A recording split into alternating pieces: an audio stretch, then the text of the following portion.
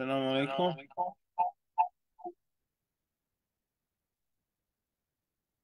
هل بدأ المؤتمر؟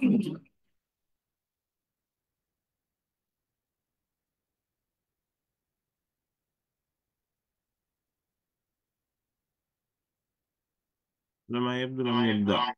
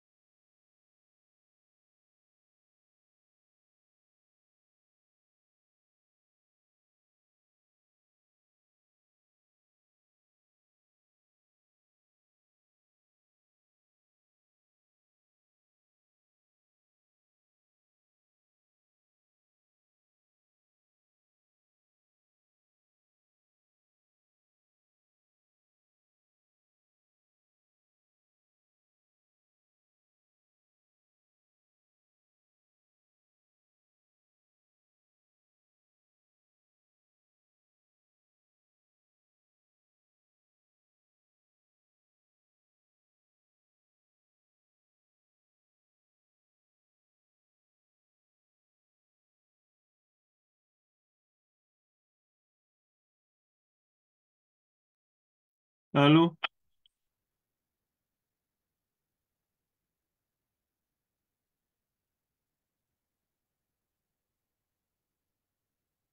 هل بدأ المؤتمر؟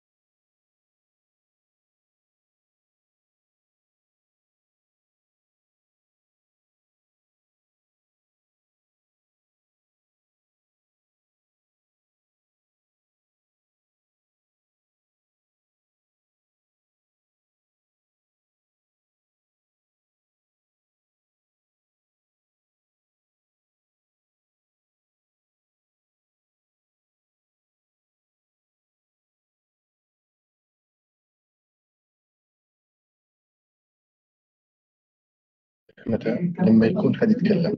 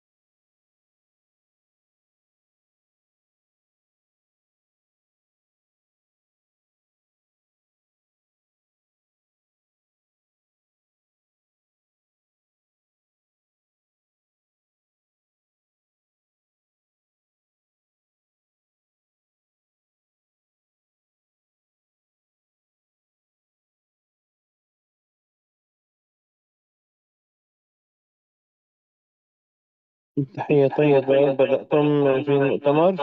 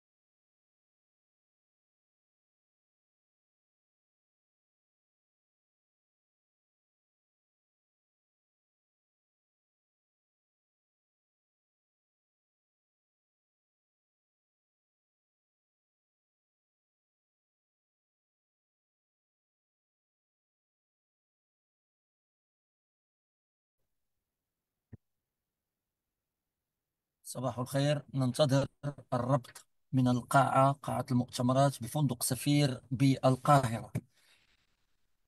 تبتدئ فعاليات الجلسة الافتتاحية عند تحقيق الربط بالقاعة بالقاهرة. شكرا لكم.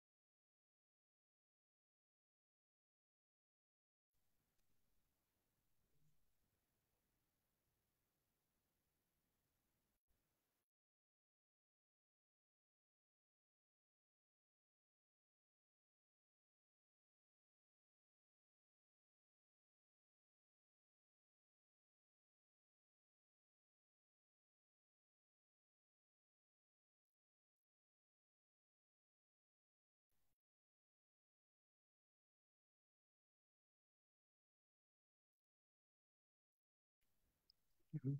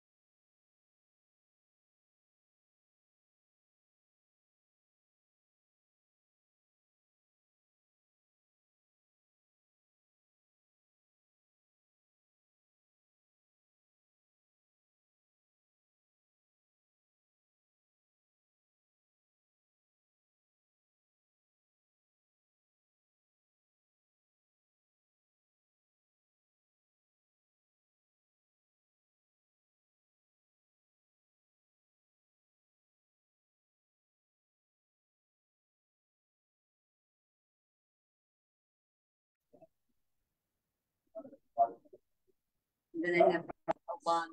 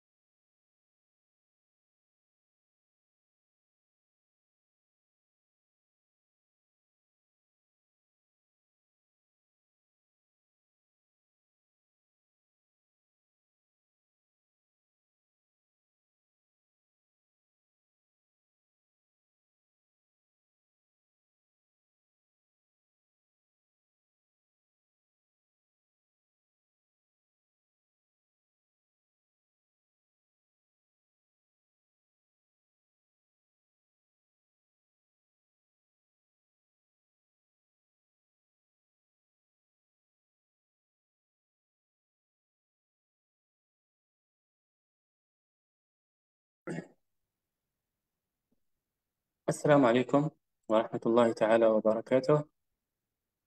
آه، على بركة الله نشرع في إشغال المؤتمر الدولي الموسوم بالقانون والذكاء الاصطناعي دراسات ورؤى في التشريع والمجتمع.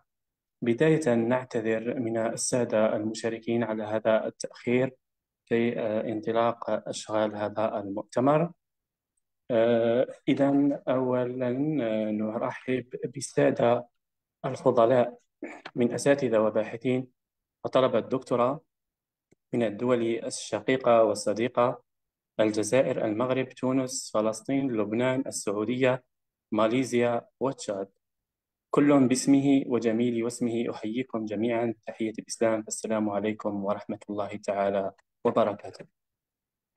بداية نحيل الكلمة إلى سعادة الدكتور عمار شرعان مدير المركز الديمقراطي العربي ونيابة عنه أقدم كلمته. فالدكتور عمار شرعان يبلغكم سلامه الحار ويعتذر عن عدم حضوره نظرا لظروف حالت دون ذلك ويهيب بكم وعلى على اقتحامكم هكذا مواضيع آه، لا سيما إذا تعلق الأمر بالذكاء الاصطناعي وتأثيره على فروع القانون فهو يعد نازلة قانونية جديدة جديرة بالبحث والدراسة. وأقدم آه، لمحة عن المركز المركز العربي الديمقراطي هو مؤسسة بحثية مستقلة تعمل في إطار البحث العلمي الأكاديمي والتحليلات السياسية والقانونية والإعلامية والاقتصادية.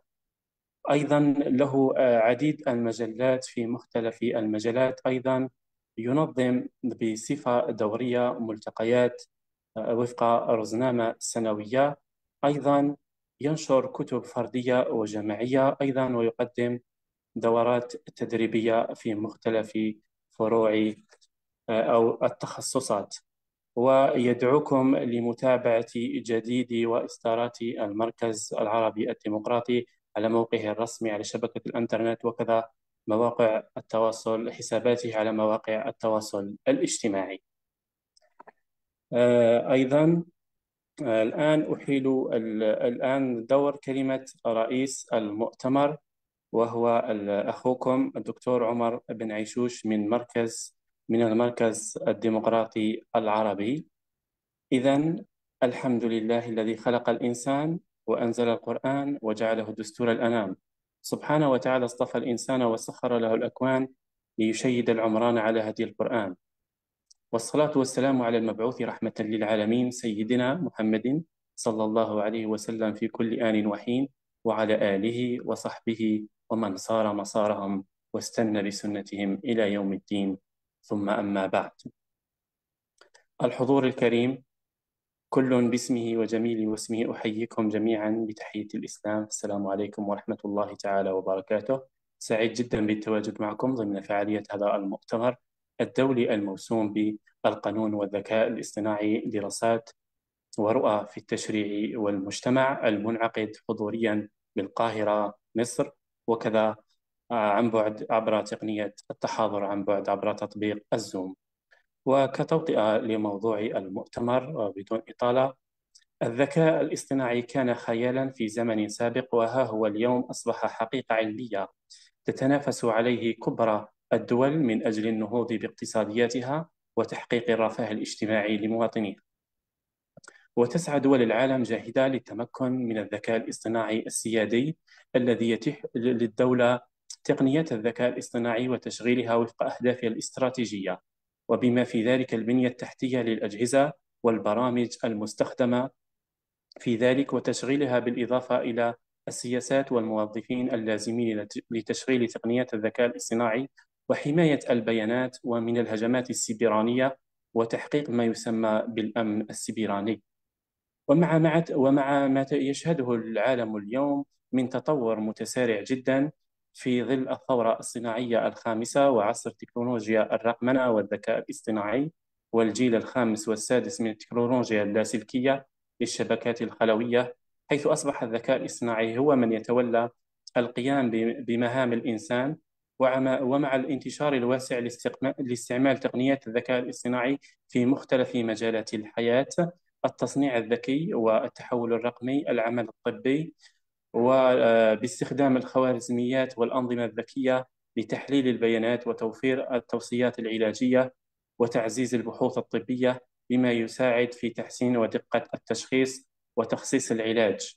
وزيادة كفاءة الرعاية الصحية كما يستخدم في عدة قطاعات أخرى التعليم الطاقة الفلاحة النقل وغيرها من القطاعات الحيوية.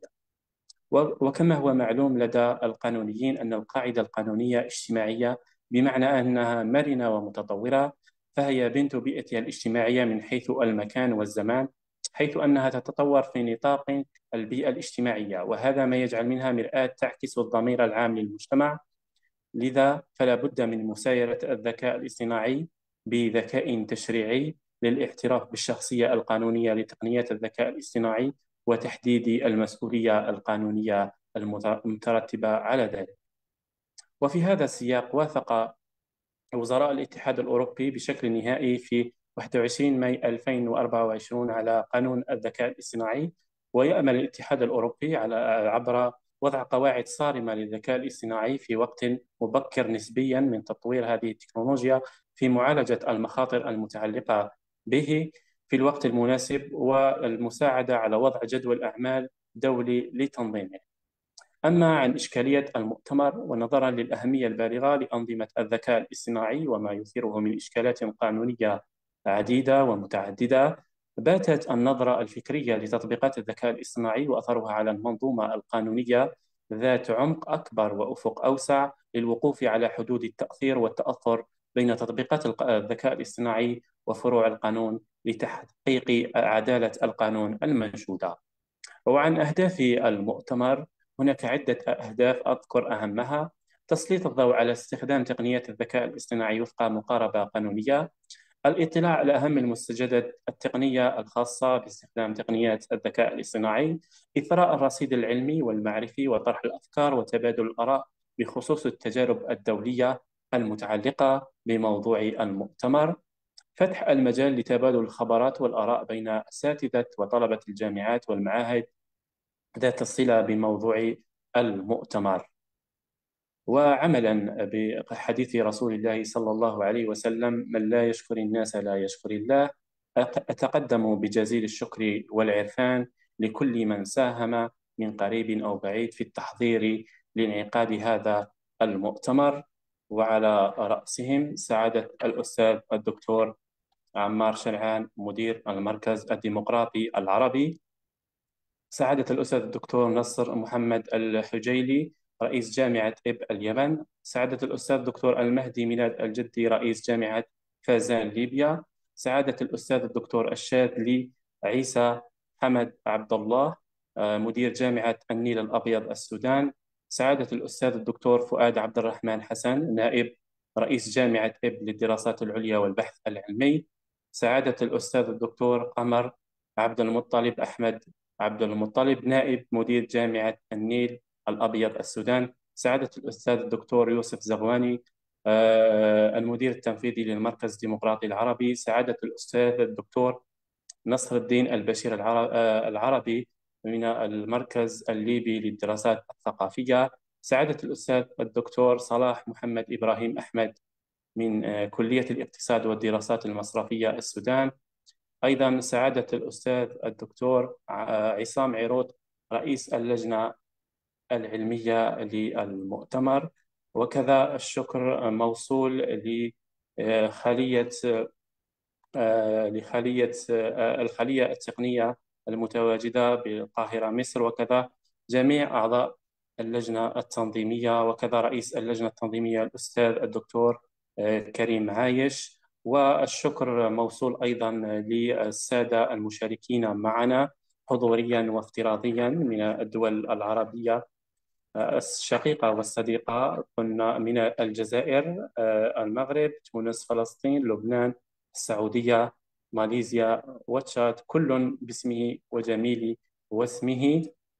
وأسأل الله العلي القدير آه، أن يجعل جهود جهود جهودهم في ميزان حسناتهم ويكلل ويكللها بالنجاح ليحقق هذا المؤتمر المبارك الأهداف المنشودة من تنظيمه. وختاما أتمنى لكم متابعة طيبة لمجريات أشغال هذا المؤتمر وبالتوفيق والسداد للجميع وباسمكم وعلى شرفكم. آه، ونيابة على آه، الدكتور عمار شرعان مدير المركز الديمقراطي العربي أعلن رسميا افتتاح أشغال هذا المؤتمر الدولي الموسوم بالقانون والذكاء الاصطناعي دراسات ورؤى في التشريع والمجتمع. وبدون إطالة نحيل ال... وكما هو معلوم الوقت المخصص لإلقاء المداخلة هو محدد بعشر دقائق. فأرجو من السادة والسيدات الفضلاء الالتزام به. وأشكركم مرة أخرى على صبركم معنا على هذا التأخير وبدون إطالة أحيل الكلمة إلى سعادة الدكتور رشيد ساسان من جامعة عنابة الجزائر لرئاسة الجلسة العلمية الأولى فليتفضل مشكورا مأجورا.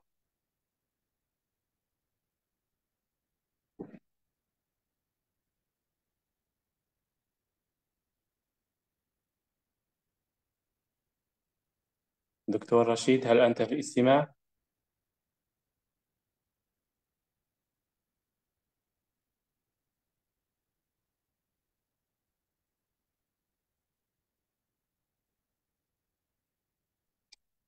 إذا في انتظار التحاق الدكتور رشيد سسان من جامعة عنابة الجزائر لإدارة الجلسة العلمية آه، آه، الدكتور أنادي على المبرمجين في هذه الجلسة الدكتور موسى أبو بكر محمد من جامعة الملك فيصل التشاد. هل هو متواجد معنا؟ دكتور موسى.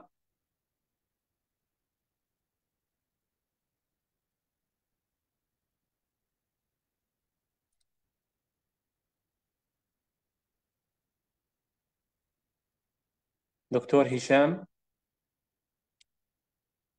دكتور هشام البخفاوي رفقة الدكتور علي مينينو من جامعة ابن آه، من من جامعة ابن زهر المغرب.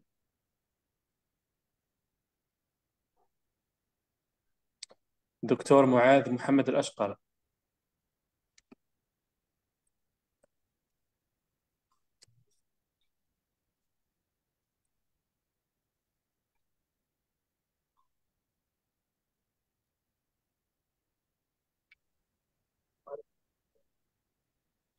السلام عليكم. وعليكم السلام ورحمة الله تعالى وبركاته. نعم تفضل سعادة الدكتور رشيد سسان. دكتور دكتور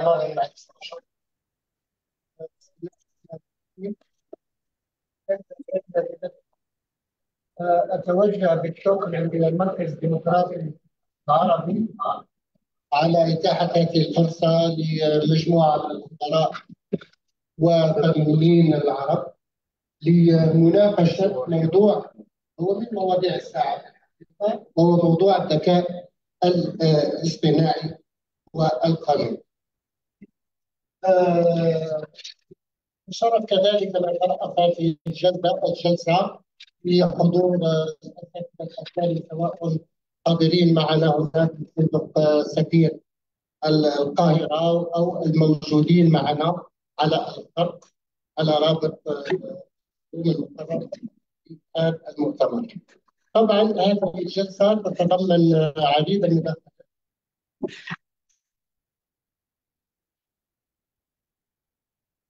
تضمن هذه الجلسة إلى عشرة عشرة مداخلات مداخلة.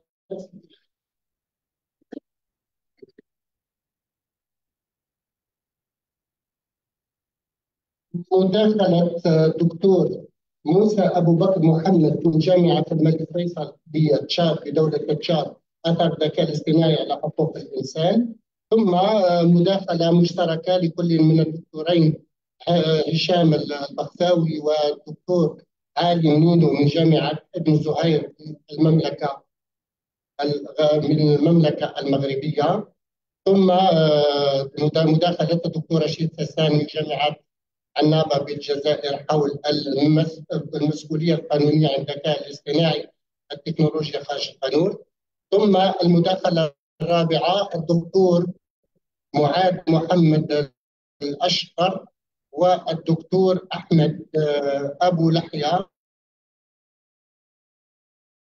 آه، على التوالي من جامعة فرنسا. الخامسة الدكتور محمد شعشوعة والبروفيسور نعيم عبا من جامعة الحسن الثاني في المملكة المغربية. ثم آه، مداخلة الأستاذة لارا حلو من الجامعة اللبنانية. والدكتور كريمي ريم من جامعة المنار في جمهورية تونس.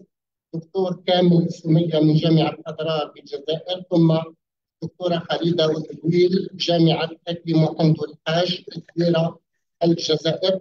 وأخيرا الدكتورة آه، كريمة كريم والدكتور حازم سالم محمد شوابكا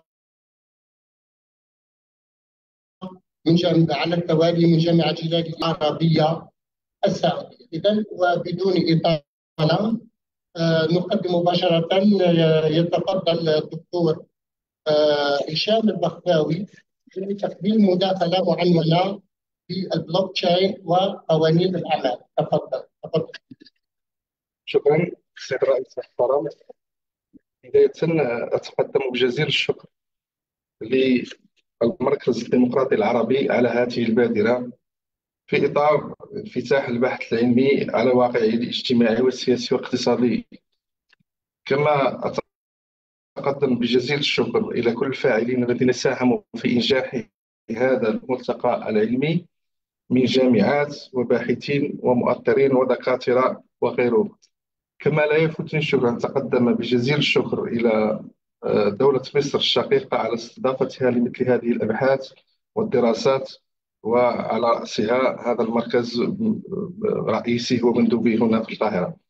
آه، اولا الحديث حول هذه التقنية آه، يبدو أنه في في يبدو انه من المستحدثات أو مستجدات مهمة جدا داخل الحقل القانوني.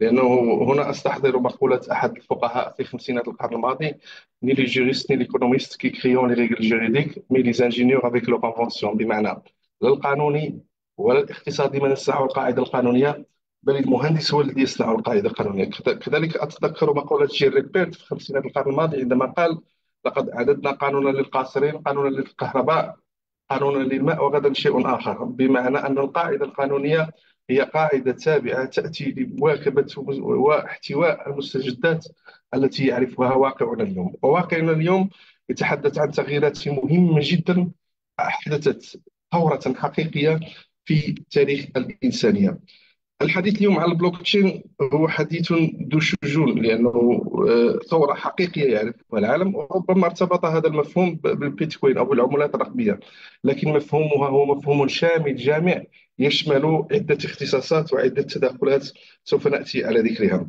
البلوك تشين هو ثورة حقيقية جاءت نتيجة آه، تطور آه، الإنترنت لأنه الإنترنت عندما بدأ في بداية التسعينات أتاح الفرصة للوصول إلى المعلومة.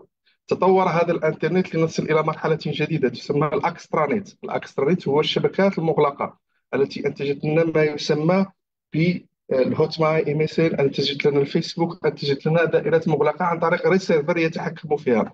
اليوم نتحدث عن ال blockchain ال blockchain أو peer to peer هو غلاف مفتوح لا يمكن لاحد أن يتحكم فيه وبالتالي هو سجل مفتوح لا يمكن لأي كان أن يتدخل فيه أو أن يتحكم فيه بل هو يتميز هذا النظام بنظام الشفافية بنظام الوحدة بنظام أن المعلومة متاحة للجميع ولا يقتصر استخدامه فقط على العملات الرقمية بل يتجاوزه إلى استخدامات كثيرة جدا تمس الضرائب تمس الحكومات الإلكترونية إلى غير ذلك من المجالات.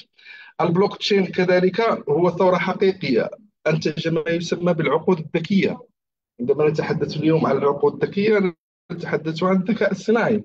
وأنتم تعرفون جيدا أن الثورة التي يعرفها حاليا الذكاء الصناعي تجعل لا بد منها أن تجعل من المشرع التشريعات العربية وفي العالم أن يقف وقفة تأمل حقيقية جدا تجاه هذا التحول النوعي من خلال عقد اتفاقيات أو تشريعات دولية. تحمي حق الإنسان تحمي حق الملكية تحمي حق الشغل إلى غير ذلك.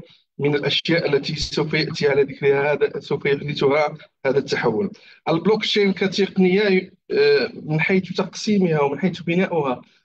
من حيث بناؤها التقني تميز ما بين البلوك تشين العامة والبلوك تشين الخاصة البلوك تشين العامة هو سجل مفتوح سيفتح المعلومة للجميع من أجل أن يعرفها ويتدخل فيها وأن يحدث تغييرات وغير من الصعوبة بمكان أن يحدث تغييرا فيها ما يميز هذه البلوك تشين العامة هو أنه دفتر مشترك عام لكل الأطراف بمعنى أن المعلومة التي أتوفر عليها هي التي تتوفر عليها أنت ويتوفر عليها الآخرون وبالتالي متاحة للجميع. كذلك نظام مؤمن لا مركزي لا يوجد نظام مركزي يتحكم في أي لا يوجد ريسيرفر خاص يتحكم في هذا النظام هو ثابت وغير قابل للتغيير بمعنى غير قابل للتحريف وغير قابل للتزوير.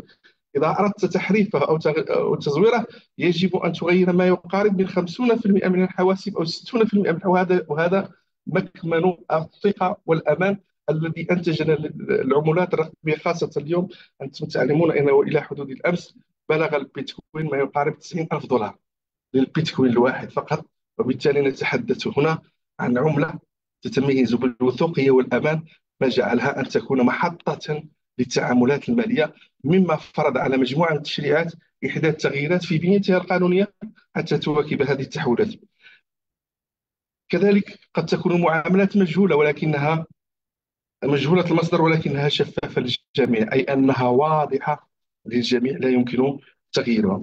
أما البلوك تشين الخاص أو ما يسمى بالبلوك تشين الخاص أو private blockchain هذا ال private blockchain هو أنه يتميز بأنه صحيح أنه الخاصية الأساسية التي تميز بها البلوك تشين هي أنها متاحة للجميع لكن في بعض المجالات قد يكون استخدامها محدودا. هذه ال blockchain private تتميز بكونها آه، عبارة عن سجل مغلق محدود نظام مركزي واحد لكن شبكة مغلقة. لكن الأساس الذي تقوم عليه البلوكشين يبقى قائما من خلال شفافية المعلومة وإتاحتها للجميع. نظام البلوكشين هو نظام يقوم على مجموعه من المعطيات التقنيه انا تحدثنا عن المعطيات التقنيه قبل ان تطرق إلى القوانين وليتسع صدر السيد الرئيس لنا اننا ضربنا مسافه ويجب ان ناخذ حقا حقا الدكتور بطاوي إحنا تقريبا الهكذا ان شاء الله دونك ادافع عن حقنا الاثنين هنا شكرا جزيلا دونك ما يميز هذه ما يميز هذه التقنيه هو انها هناك عده منصات مشهوره عالميا هناك منصه ال Ethereum هناك منصه Hyperledger Fabric هناك منصة Quorum هناك منصة آه، Corda هناك منصة Ripple إلى غير ذلك من المنصات التي تعمل على صناعة ما يسمى بالبلوك تشين آلية عمل هذا النظام هو آلية ما يسمى بالكتلة block ثم الكتلة هي عبارة عن تجمع لمجموعة من المعطيات donc لأنه لا يتسع الوقت لذكر هذه المعطيات التقنية. ثم ال hash أو ال hashing ال hashing هو عبارة عن مجموعة عمل خوارزميات تقنية وحسابية تجعل من العملية معقدة وتجعل من الصعوبة اختراقها. ثم ما يسمى ببصمة الوقت أي الآجال التي تحدد من أجل ضبط العملية وتحديدها. ثم خاصية كذلك العقد أي node أو ما يسمى ما أنتجت لنا ما يسمى بالعقود الذكية أو العقود الذكية التي أصبحت تقوم بشكل تلقائي في عملها بشكل عام. نمر إلى الشق الثاني. الشق الثاني يتعلق قوانين. ماذا عن القوانين؟ ماذا انتجت هذه القوانين حتى نكون أمام تحول نوعي فيما يخص المعاملات الماليه حقيقة هو أنه ما يميز مجموعة الدول هو أنه لها القدرة على استيعاب التحولات الجذرية التي يعرفها تعرفها التطورات الاقتصادية والاجتماعية ومحاولة تأطيرها والاندماج فيها. لكن هناك تشريعات تبقى جامدة تنتظر لترى التغييرات التي تحدث هنا أستحضر أنه غالبية التشريعات العربية هي مترددة جدا في الأخذ بهذه التقنية وإحداث تعديلات مهمة تمس القوانين خاصة وأن أغلب القوانين العربية لا تأخذ بهذه التقنية حاليا كإطار قانوني منظم باستثناء بعض المحاولات التي قامت بها بعض البنوك المركزية كما هو الشكل آه، أو بعض المعاملات التي تقام بها بعض الشركات فيما يخص التعامل أو باستثناء التحول الجدي لدوله الإمارات التي أخذت بتغيير مهم جدا فيما يخص هذا البلوك تشين. ولم يعد يقتصر فقط على المعاملات الرقمية آه، أو أو أو, أو ما يسمى بالعملات الرقمية بل تجاوزها لأصبح اليوم يتعامل في ميدان الطاقه في ميدان الكهرباء في ميدان الضريبي إلى غير ذلك. ما يميز هذه العملية في مجالات متعددة هو أنه يصبح العمل الحكومي عمل شفاف وواضح. يصبح العمل الضريبي واضح يصبح الماء واضح الكهرباء واضح جميع أشغال الحكومات تصبح واضحة ومتاحة للجميع وهي ممكن أن نشير إلى مسألة مهمة هو أنه اليه من اليات الديمقراطية التشاركية اليوم بلوك تشين في شقها التدبيري وفي شقها الإداري لأنها تتيح شفافية المعلومة بشكل كبير ومتاح أمام الجميع. إذا تقنية البلوكشين استخدمت في عدة عدة العقود الذكية من خلال إصدار وتبادل العملات الرقمية. من خلال تبادل الاصول الماليه من خلال عمليات التأمين يعني شركات التأمين الكبرى اليوم تشتغل وفق هذا النظام الذي يتيح المعلومة لأنه غالبية الشركات التأمين هنا تتحدث عن عن عن, عن التصريح بالمؤمن والمؤمن له وسألتزم بقرار السيد الرئيس وبالتالي أختم بكلمة بخلاصة مهمة هو أنه اليوم نحن نظل نتردد في اتخاذ القوانين. وفي الأخذ بها. لكن هذا التردد يكلفنا وقت ويكلفنا مال ويكلفنا الكثير. آن الأوان لأخذ الجرأة أو لأخذ زمام المبادرة لإحداث تغييرات نوعية في قوانين الرقمنة من ضمنها إحداث تغييرات لقوانين تواكب هذا التحول الجذري لأنه إن لم نكن فاعلين اليوم سوف نكون مفعولا بنا وهذا ما لا يليق بنا كدول عربية وشكرا جزيلا لكم. شكرا.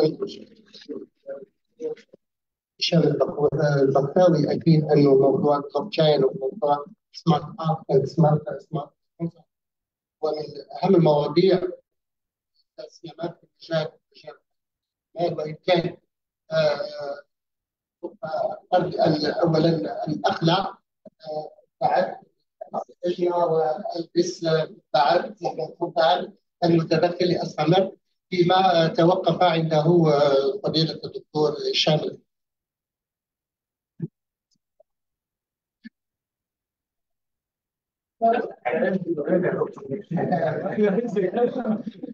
على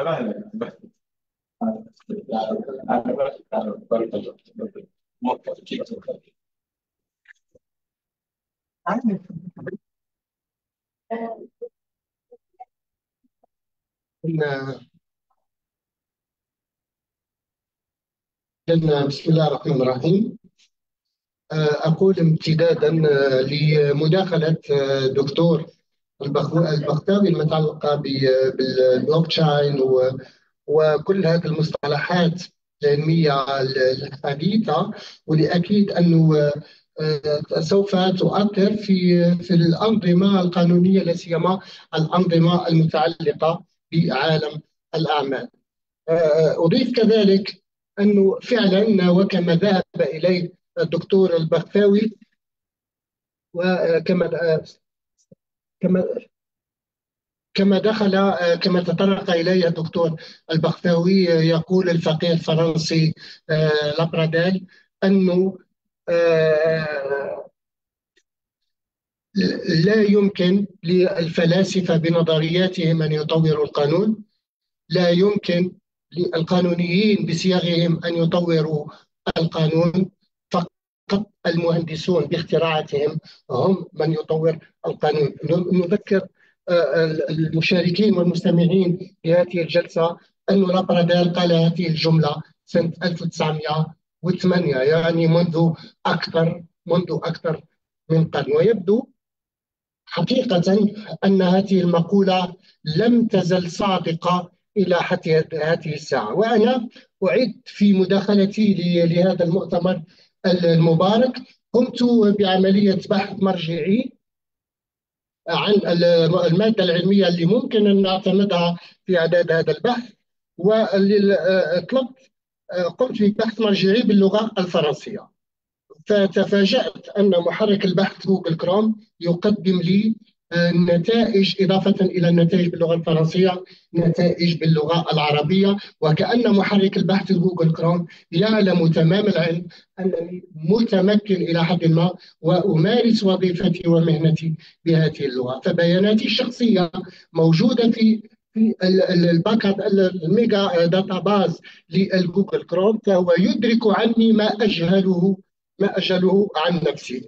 فهذا يؤكد ماذا؟ يؤكد خطورة الذكاء الاصطناعي الذي أخذ يتسلل حتى إلى بياناتنا الشخصية ومن جميع ومن جميع الأنواع.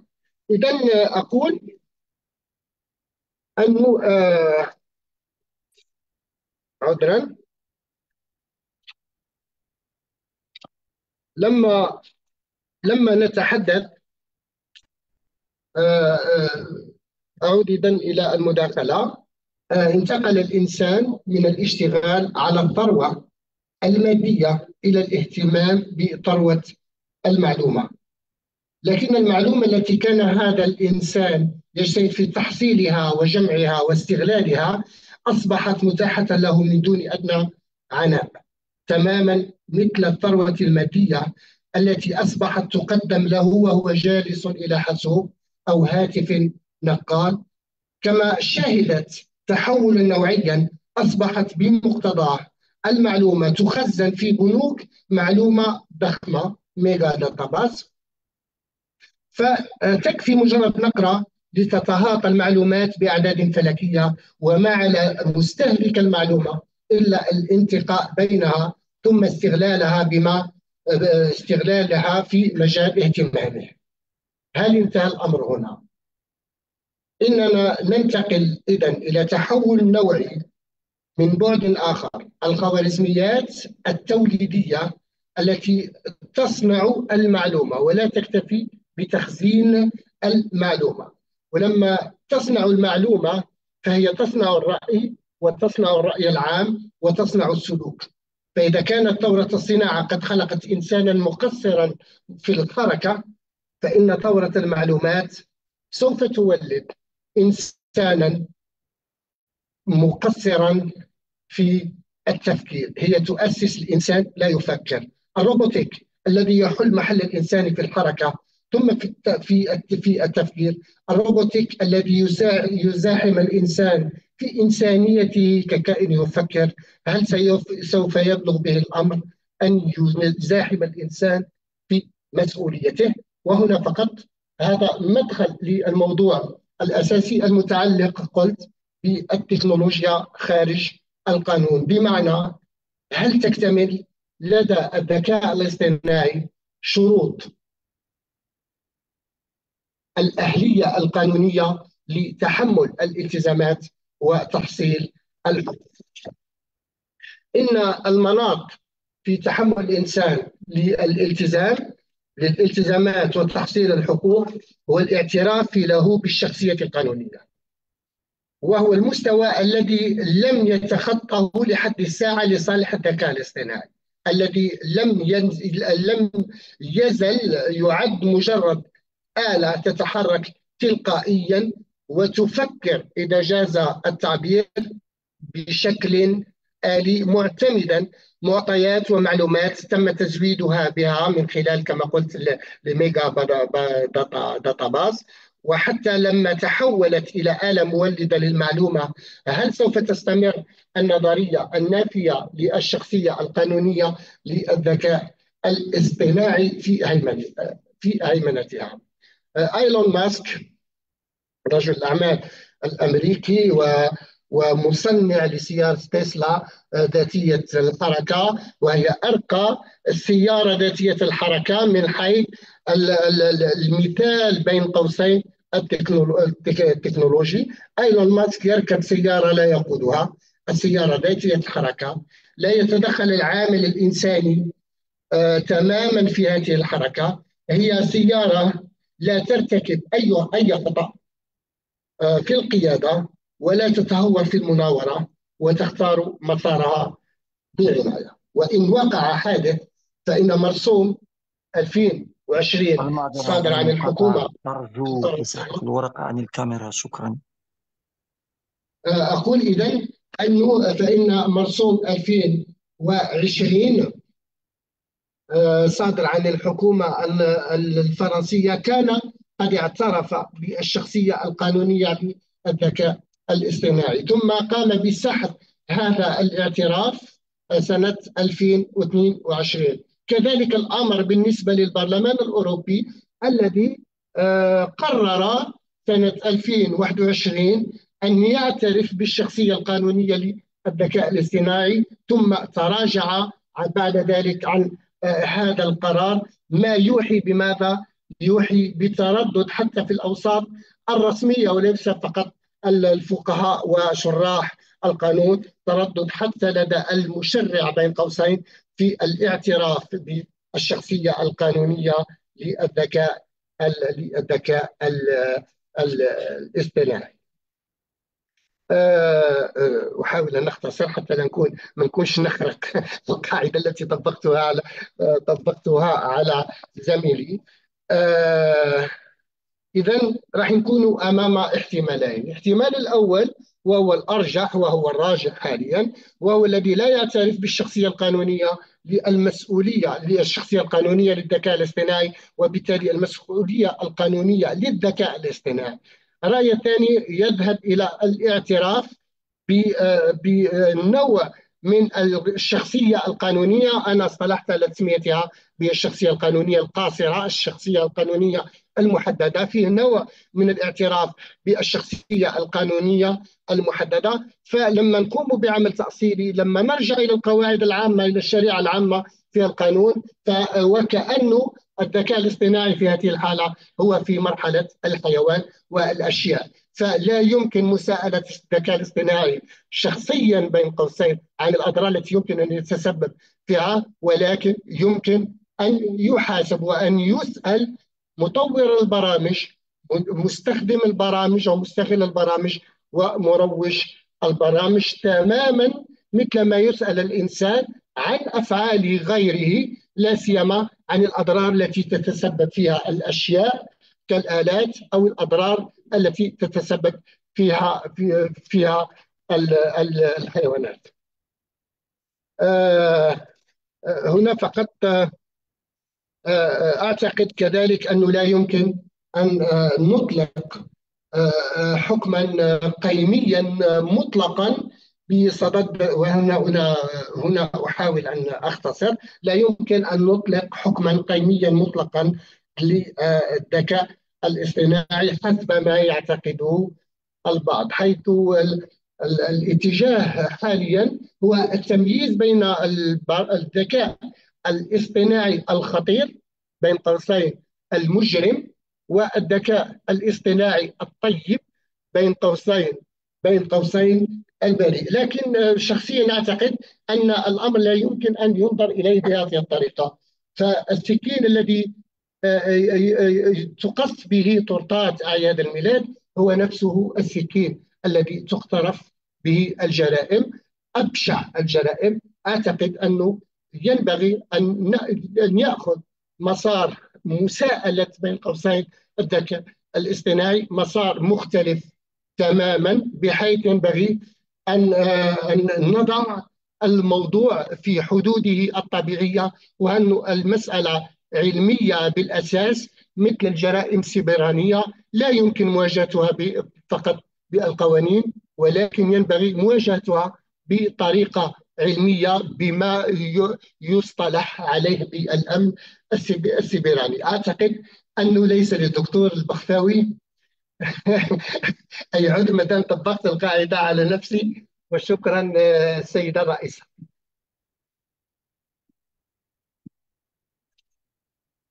وسوف أعيد آه، الشمس.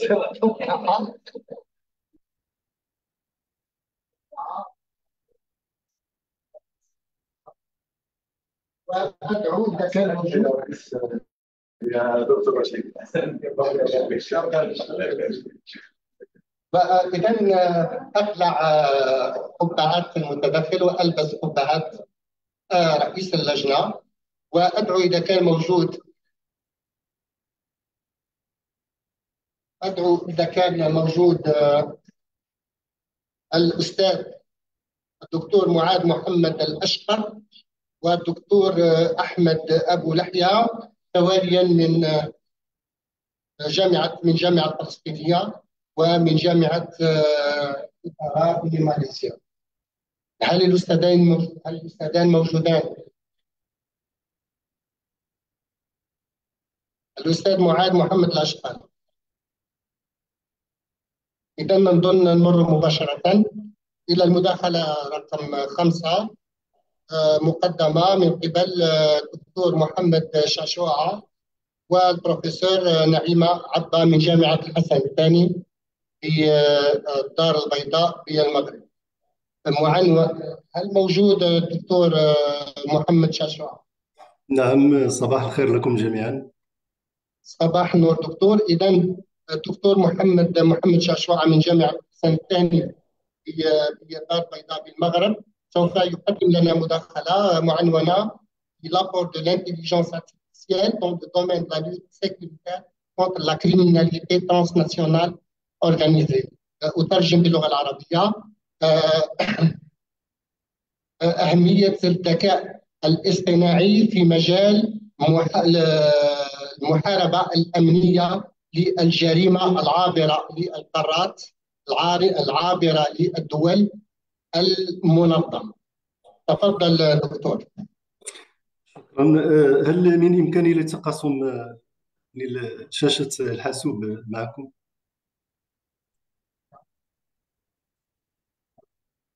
نعم أستاذ تفضل. هل من إمكاني لتقاسم شاشة الحاسوب؟ أكيد. نعمل له إعادة توجيه يعني ولا طيب تعالى يا نبيل. الشاشة شاشة هو أظن أه شاشته هو. أه تمام.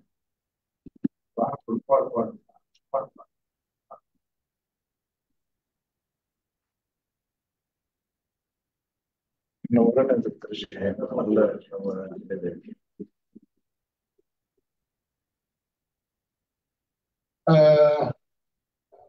في في انتظار أن يتم تسوية على وشك على وشك ننتظر نصف دقيقة.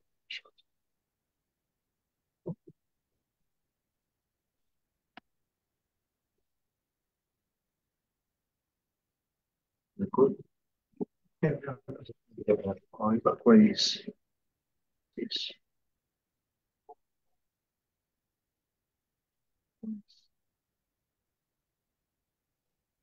هل العرض يظهر لكم؟ نعم واضح دكتور واضح تفضل شكرا جزيلا لكم على هذه المبادرة العلمية القيمة سأحاول أن ألتزم بالوقت بالنسبة للمداخلة فهي باللغة الفرنسية حول موضوع مساهمة الذكاء الاصطناعي في المحاربة الأمنية للجريمة المنظمة. Donc, l'apport de l'intelligence artificielle dans la lutte euh, sécuritaire contre la criminalité transnationale organisée. Concernant le plan de ma présentation, il s'articule euh, de la manière suivante. Après une brève introduction, on va aborder la notion de la criminalité transnationale organisée, puis l'évolution et les domaines d'activité de, ce, de cette catégorie de criminalité avant euh, d'examiner l'ampleur et le danger de cette criminalité sur euh, les et l'ampleur et les dangers multidimensionnels pour terminer par euh, une analyse succincte des différentes possibilités offertes par l'intelligence artificielle dans le domaine de la lutte contre ce genre de criminalité. Il est connu que dans le domaine de l'application de la loi, la clarté conceptuelle constitue le premier pas pour une répression efficace des, infractions et des actes criminels. Donc, lutter efficacement contre la criminalité transnationale organisée demande euh, d'une façon prioritaire de clarifier cette notion euh, euh, qui recouvre un vaste domaine d'activités qui sont par nature très dangereuses parce qu'ils sont fondés sur la violence, la brutalité, la corruption, l'intimidation et d'autres pratiques qui diffusent la peur et l'instabilité.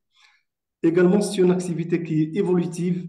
La criminalité transnationale organisée n'est pas stagnante, elle évolue au gré des changements, des contextes, des euh, possibilités technologiques, des conjonctures euh, politiques, socio sociales et euh, géopolitiques. Euh, c'est une, activité, une activité également qui est euh, fondée sur la prédation, c'est-à-dire les organisations criminelles exploitent les faiblesses des États, des institutions étatiques et les possibilités offertes par les technologies pour gagner davantage en force et en puissance. Différentes euh, tentations de définition ont été présentées par les instances internationales, notamment la, la cinquième conférence des Nations Unies, qui a tenté déjà en 1975 de définir cette euh, criminalité transnationale organisée de la manière suivante. Le crime organisé comprend une activité criminelle complexe et à grande échelle, menée par des groupes de personnes ayant un certain degré d'organisation et qui vise à créer de la richesse pour ses membres. C'est-à-dire que la criminalité transnationale organisée est focalisée sur l'appât du gain, c'est-à-dire mobilisée par l'appât du gain. Elle cherche à acquérir euh, des bénéfices purement financiers d'abord. Elle se fait au détriment de la société, des individus et de l'État. Elle est souvent réalisée par négligence totale à la loi et parfois elle est liée à la corruption économique et politique. Le Conseil de l'Europe, elle a aussi tenté en 1998 une définition euh, similaire. La Convention des Nations Unies en 2000, connue également par le nom de Convention de Palerme, a tenté une définition de cette criminalité il a mis en exergue notamment sa dimension transnationale, c'est-à-dire que c'est une catégorie de criminalité qui est préparée, exécutée, ou bien qui a des effets et des répercussions à, à des niveaux qui dépassent le cadre d'un seul État. Euh, globalement, on peut dire que la criminalité transnationale organisée, c'est une catégorie criminelle installée euh, sur la durée, c'est-à-dire elle dure dans le temps, elle est euh, multidimensionnelle et transnationale. Ces répercussions dépassent le cadre d'un seul État, ce qui pose d'énormes problèmes sur le plan de la répression et sur le plan juridique, mais euh, qui, ne, qui, ne, font pas partie de, de notre objet actuellement. Euh, la criminalité transnationale organisée n'est pas stagnante, comme euh, j'ai déjà évoqué. C'est une euh, activité qui évolue au niveau des domaines d'activité, mais également au niveau des structures. Euh, historiquement, les organisations criminelles étaient ou bien prenaient la forme d'organisations, bien d'entreprises, euh, de grandes, euh, de grandes structures dirigées ou bien fondées sur une hiérarchisation très forte, dirigées souvent par un chef très puissant qui étend son autorité sur l'ensemble des structures de son organisation. Aujourd'hui, on assiste à une mutation de, des formes de ces organisations. Elles sont plutôt, euh, euh, prennent euh, souvent des formes plus souples, agiles et qui ne sont pas très développées côté structurel. Pour les activités, elles sont également, elles sont également, elles sont également évoluées pour passer d'un certain, d'un certain domaine d'activité centré sur la corruption, le trafic euh, de drogue, de poissons alcoolisés, de corruption, d'exploitation des femmes pour des raisons, pour, euh, des raisons sexuelles, à tout un éventail, à une large liste d'activités qui englobe désormais toutes les formes possibles des commerces et des activités illicites. Donc, euh, on peut citer à titre d'exemple la vente de médicaments frauduleux, le trafic illicite d'armes à feu, d'armes nucléaires, biologiques, chimiques, des déchets nucléaires et le trafic des véhicules de luxe, le trafic des ressources naturelles précieuses, euh, la traite des êtres humains, le trafic d'immigrants et toutes sortes d'activités lucratives. Ce genre d'activité génère des sommes d'argent colossaux qui se développe d'une façon exponentielle. Il suffit par exemple de dire que en 2009, la criminalité transnationale organisée générait plus de 870 milliards de dollars par an, soit 1,5% du PIB mondial, du produit intérieur brut mondial, et plus de six fois le montant à l'aide au développement officiel, à savoir également ce qui fait 7% des exportations de marchandises mondiales. Ces sommes d'argent très colossaux confèrent aux organisations criminelles transnationales des puissances ou bien des pouvoirs immenses sur les plans économiques, politiques et administratifs.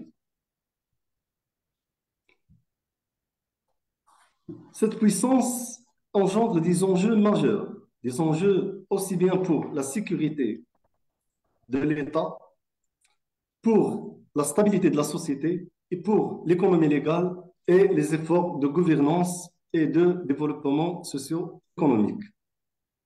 Les impacts d'une façon profonde et très négative.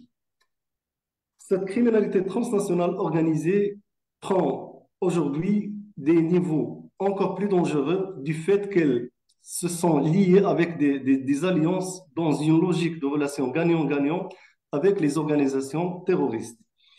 Euh, on assiste à une époque où, où le, le, les actes ou bien la criminalité est basée sur des justifications idéologiques pour donner naissance à des structures nouvelles qui prennent de puissance à l'insu des analyses académiques et des stratégies de lutte sécuritaire.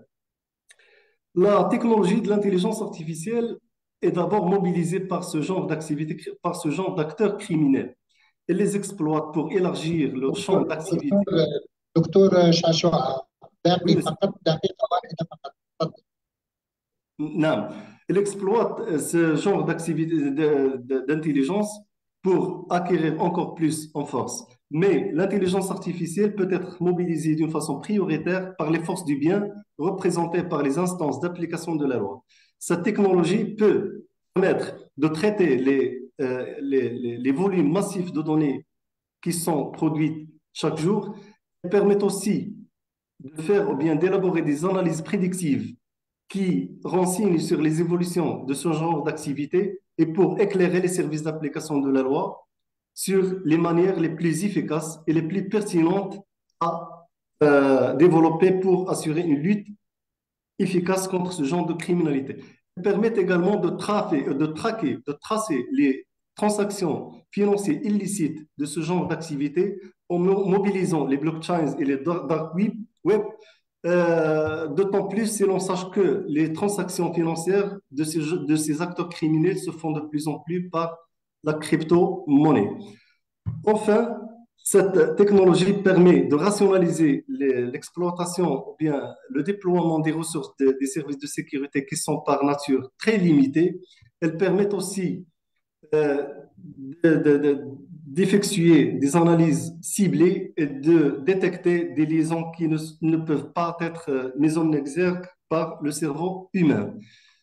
Euh, cette technologie présente néanmoins certaines limites parce qu'elle se base sur les données. Ces données peuvent être biaisées, empoisonnées par les acteurs de la criminalité et demandent des coûts exorbitants pour les acquérir, des compétences techniques développées pour les mettre en fonctionnement et le manque de réglementation pose également d'énormes défis pour les services de sécurité. Pour dépasser ce genre de limites, euh, je termine. Je...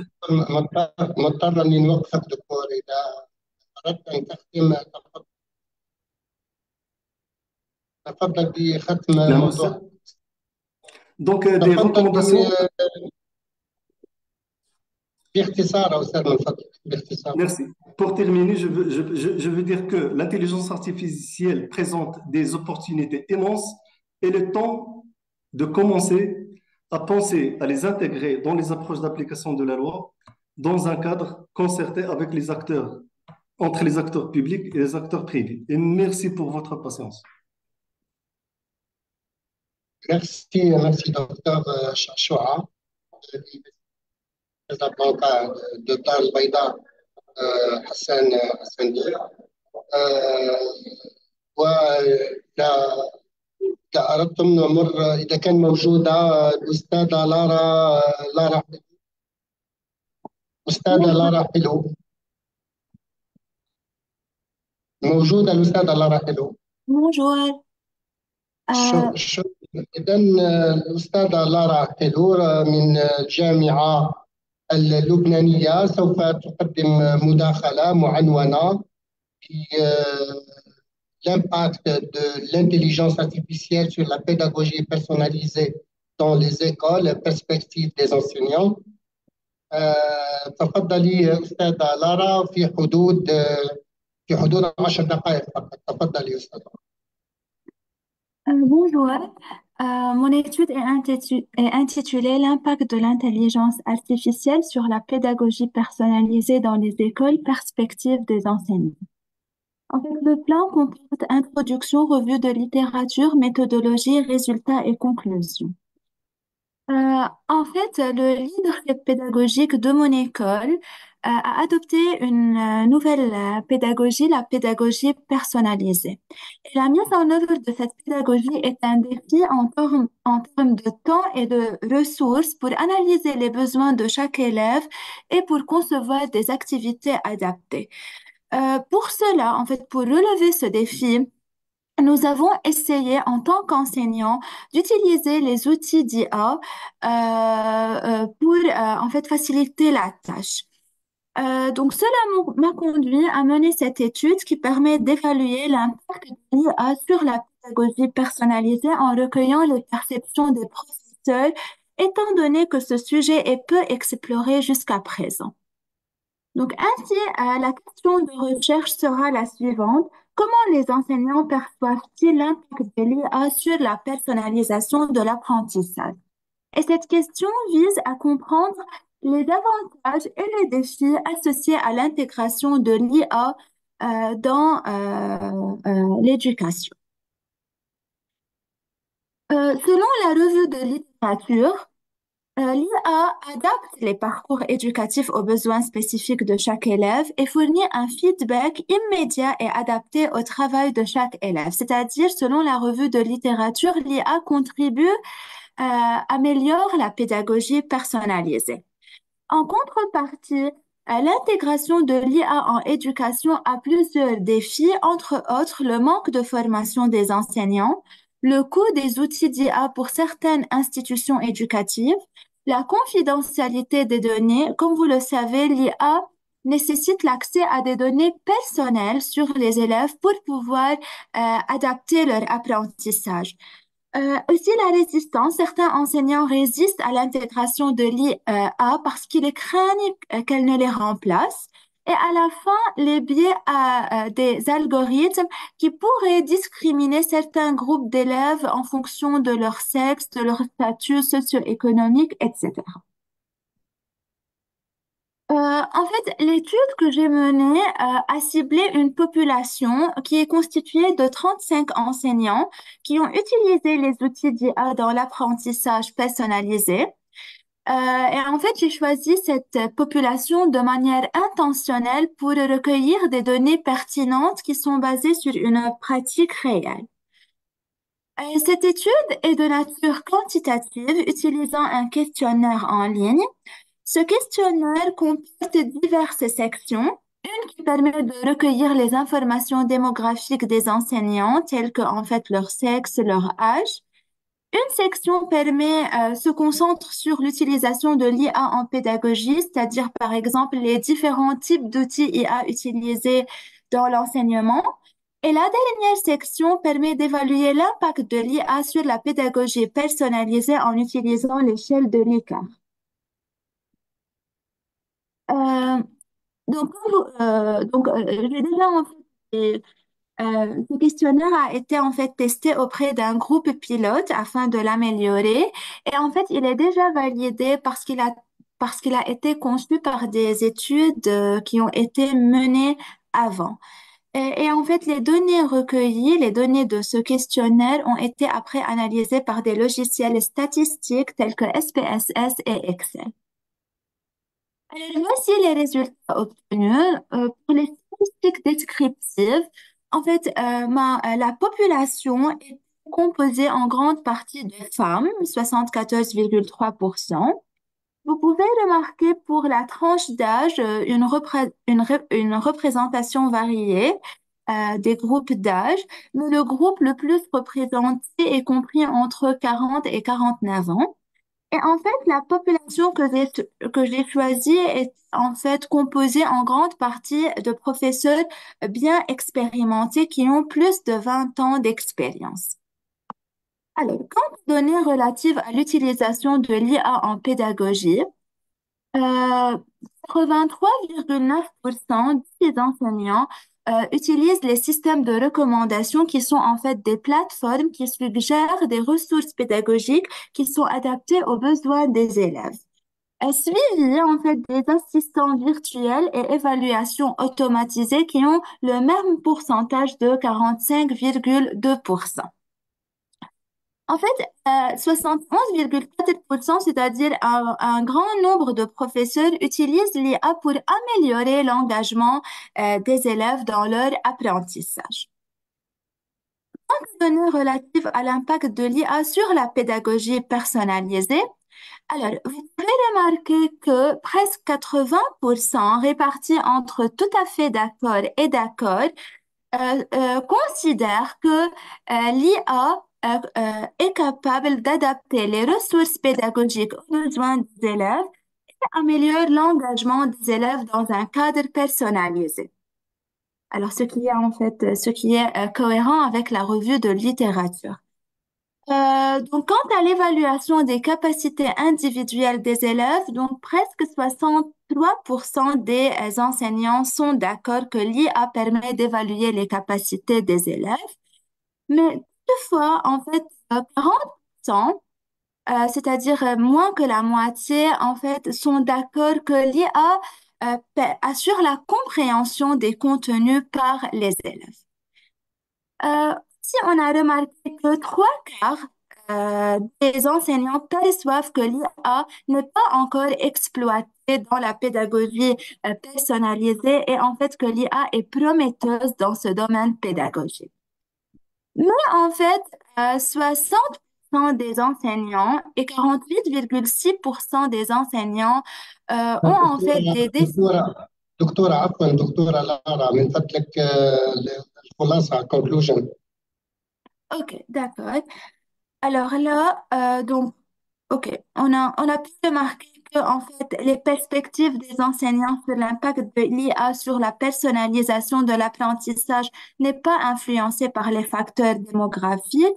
Et en fait, euh, en tant que conclusion, que l'IA permet d'adapter les ressources pédagogiques aux besoins spécifiques des élèves tout en rendant les leçons engageantes, mais il y a des défis, manque de formation des enseignants et des préoccupations sur la confidentialité des données. C'est pourquoi les recherches futures devraient se concentrer sur la formation des enseignants et améliorer la transparence des algorithmes. Et seulement, donc, il est nécessaire de reprendre cette recherche en utilisant un échantillon qui est plus large, parce que moi, c'est- j'ai seulement utilisé 35 professeurs. Alors, merci pour votre attention. Merci docteur Lara Helou de l'Université libanaise pour votre contribution Merci. وبعدها نمر مباشرة إلى الدكتورة كريمي ريم من جامعة المنار بتونس آه، لعرض مداخلة معنونة Reliability of Surgical Robots for Medical Errors Tunisian Standpoint. آه، أترجم آه، مسؤولية surgical robots الروبوتات الجراحية والمستعملة في العمليات الجراحية عن الأخطاء الطبية وراح تاخذ القانون التونسي كنموذج. تفضلي تفضلي دكتورة كريمي ريم إذا كنت موجودة. الدكتورة كريمي ريم.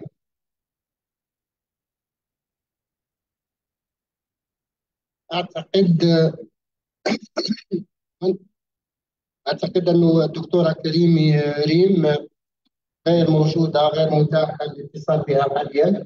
نربط مباشرة موجودة الدكتورة خالدة والدقوي من جامعة أكرم وحمد الحاج في دويرة الجزائر لتقديم آه، مداخلة وتناقش التحديات باستخدام الذكاء الاصطناعي في تحليل الجريمة. تفضل تفضل.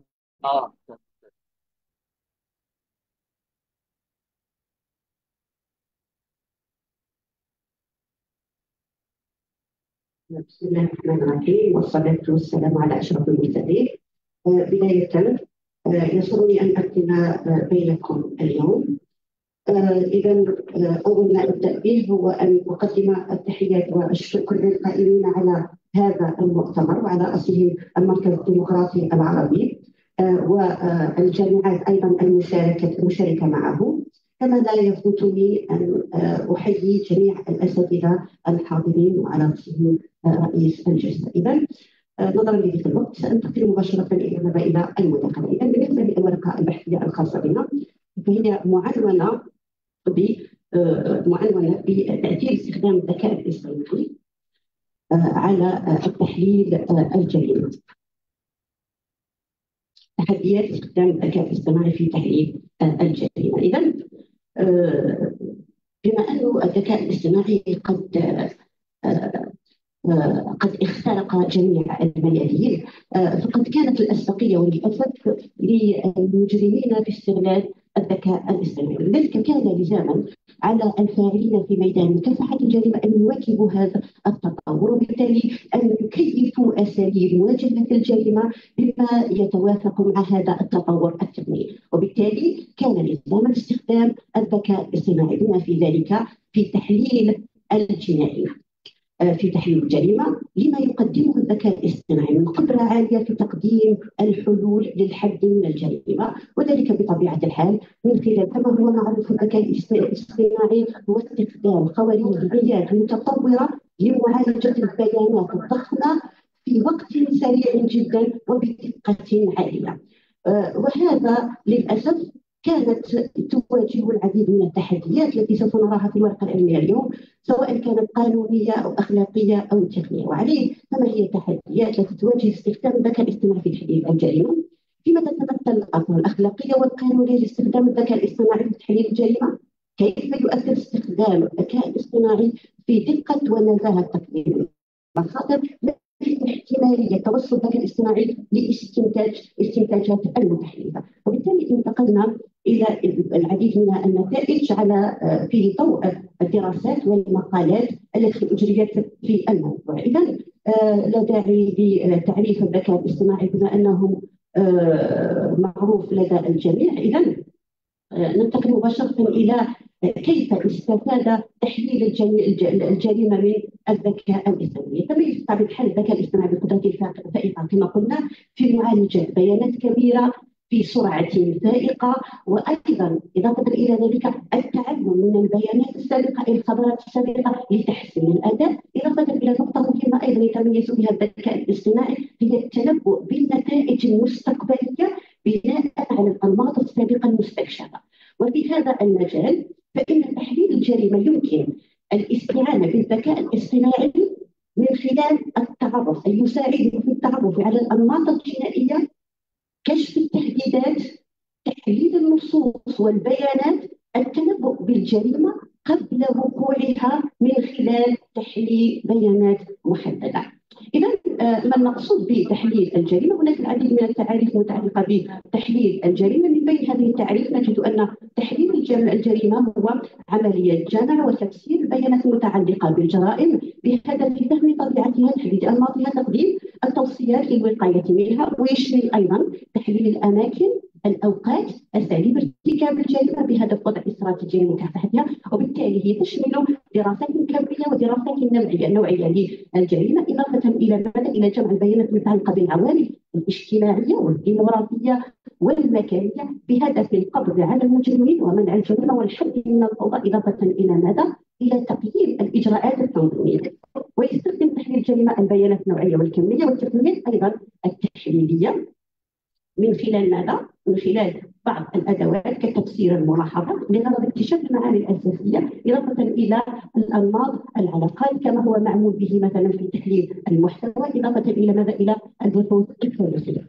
اذا آه، بالنسبة لأنواع تحليل الجريمة هناك العديد من التصنيفات إذا يمكن أن يشمل تحليل الجريمة التحليل الإحصائي الذي يهدف إلى ماذا؟ إلى التعرف على اتجاهات الجريمة والأنماط الإحصائية بالاعتماد على الأساليب الإحصائية لدينا أيضا التحليل الجغرافي لدينا أيضا التحليل الجغرافي الذي يهدف إلى ماذا؟ إلى تحليل التوزيع الجغرافي للجرائم خاصة بما يعرف في المناطق الساخنة للجرائم إضافة إلى ماذا؟ التحليل السلوكي الذي يهدف لفهم سلوك المجرمين لدينا أيضا تصنيف آخر اللي هو تصنيفه أو الخاص بعلم الجريمة التطبيقي وفق راشل بوبا يمكن تصنيفه إلى ماذا؟ إلى وهو تصنيف خماسي إلى خمس تصنيفات لدينا تحليل الذكاء intelligence analysis لدينا أيضا الثاني هو تحليل التحقيق الجنائي investigative analysis تحليل الجريمة التكتيكي tactical crime تحليل الجريمة الاستراتيجي strategy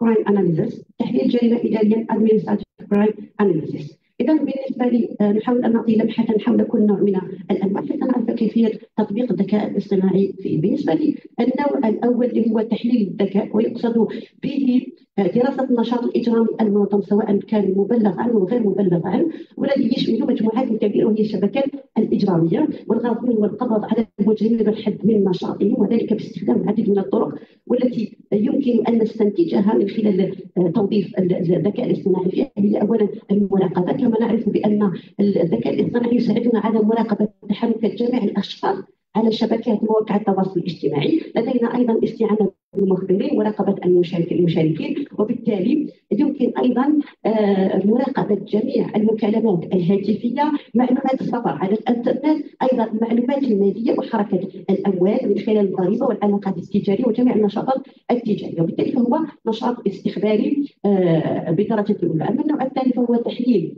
التحقيق الجنائي وهو يساهم في دعم التحقيقات الجنائية من خلال تقديم التحليلات المعمقه للوقائع الإجرامية من خلال دراسة المجرمين المدسسين وهذا نجدها كثير خاصة في الجرائم اللي يكون فيها شخص واحد مثل جرائم القتل التسلسلي إذا آه، أعتقد أنه الوقت لدينا نقاط مهمه لا تعتقدي هذا ولكنه الوقت فعلا.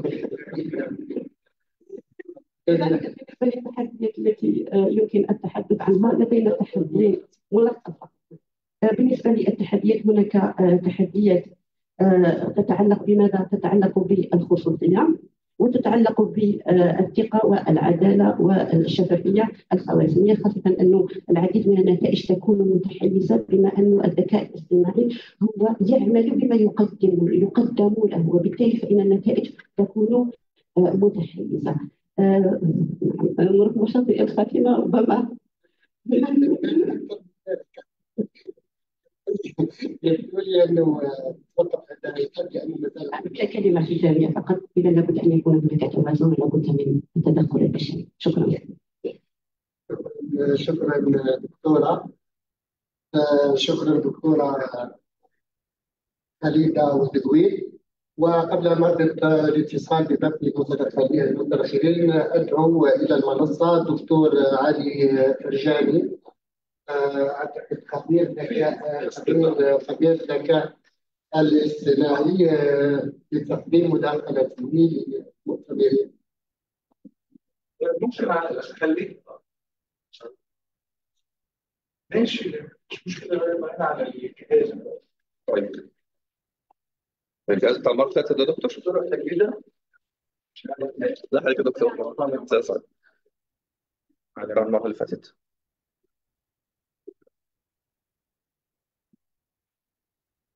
ولا ماسك ده ليه؟ طب ماشي صحيح.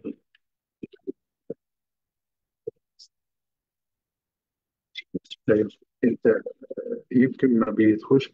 يا نبيل تعالى سعيد نبيل أهو نبيل أهو. نبيل أهو. ما شافوش؟ خلاص ده لا يعني أنت مجرد ما جيت بس ما طيب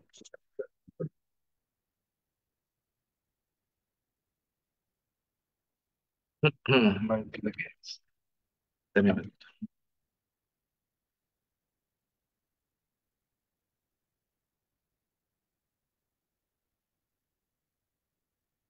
في ثلاث دقائق يا دكتور. مش هينفع يا دكتور؟ الفلاشة بس مش عايزة ت- ثواني.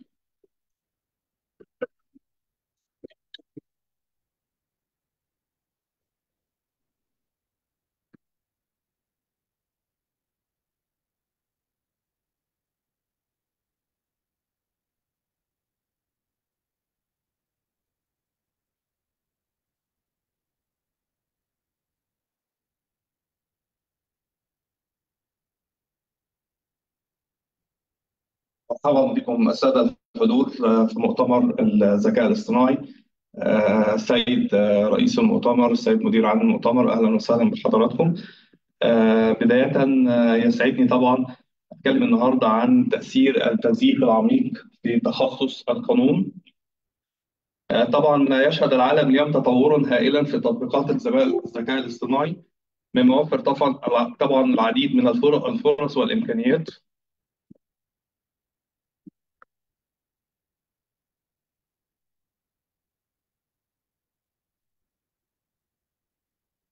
طيب التزييف العميق طبعا لا يهدد فقط الأمن العام بل يمتد إلى تدمير طبعا السمعة والتلاعب بالمشاعر والحقائق.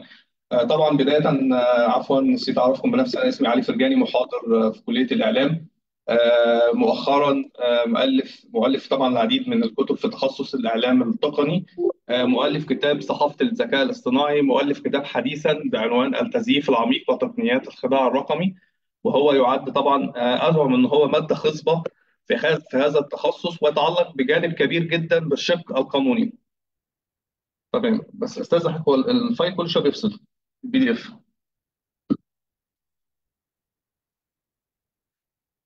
كل شيء تمام.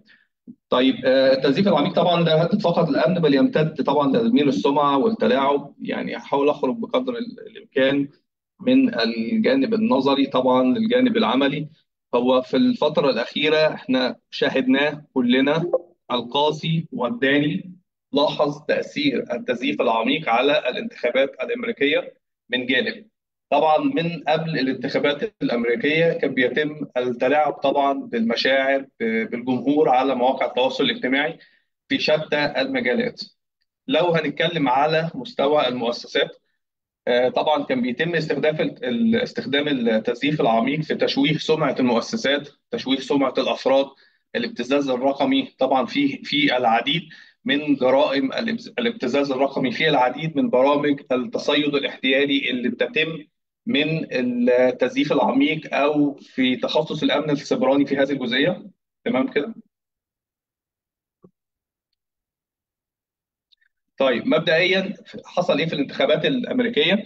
حصل إن إن في العديد من الفيديوهات المتخصصة اللي كانت بتستهدف ولايات معينة، ولايات أمريكية بعينها علشان ينحازوا أو ينطووا مثلا لمرشح سياسي دون مرشح سياسي آخر. ده كان بيستخدم من قبل آه، تهديدات أو تقنيات التزييف العميق اللي بيتم طبعا توظيفها. طب إحنا نعرف نكمل كده؟ ولا مش في ال file؟ هو إيه فن؟ ال PDF في مشكلة في ال PDF. ممكن بس ناخد copy و paste عن طيب ماشي إيه المشكلة؟ تمام.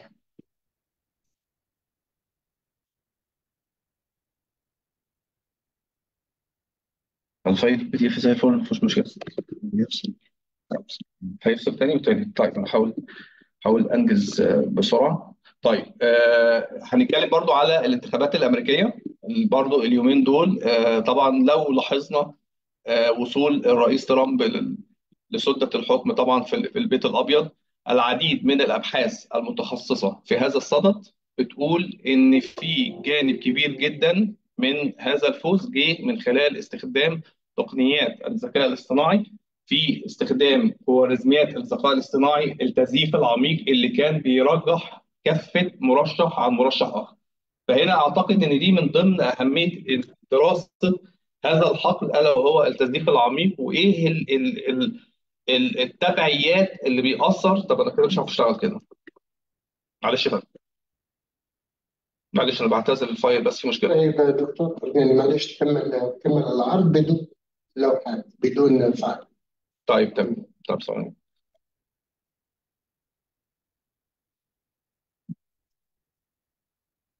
كده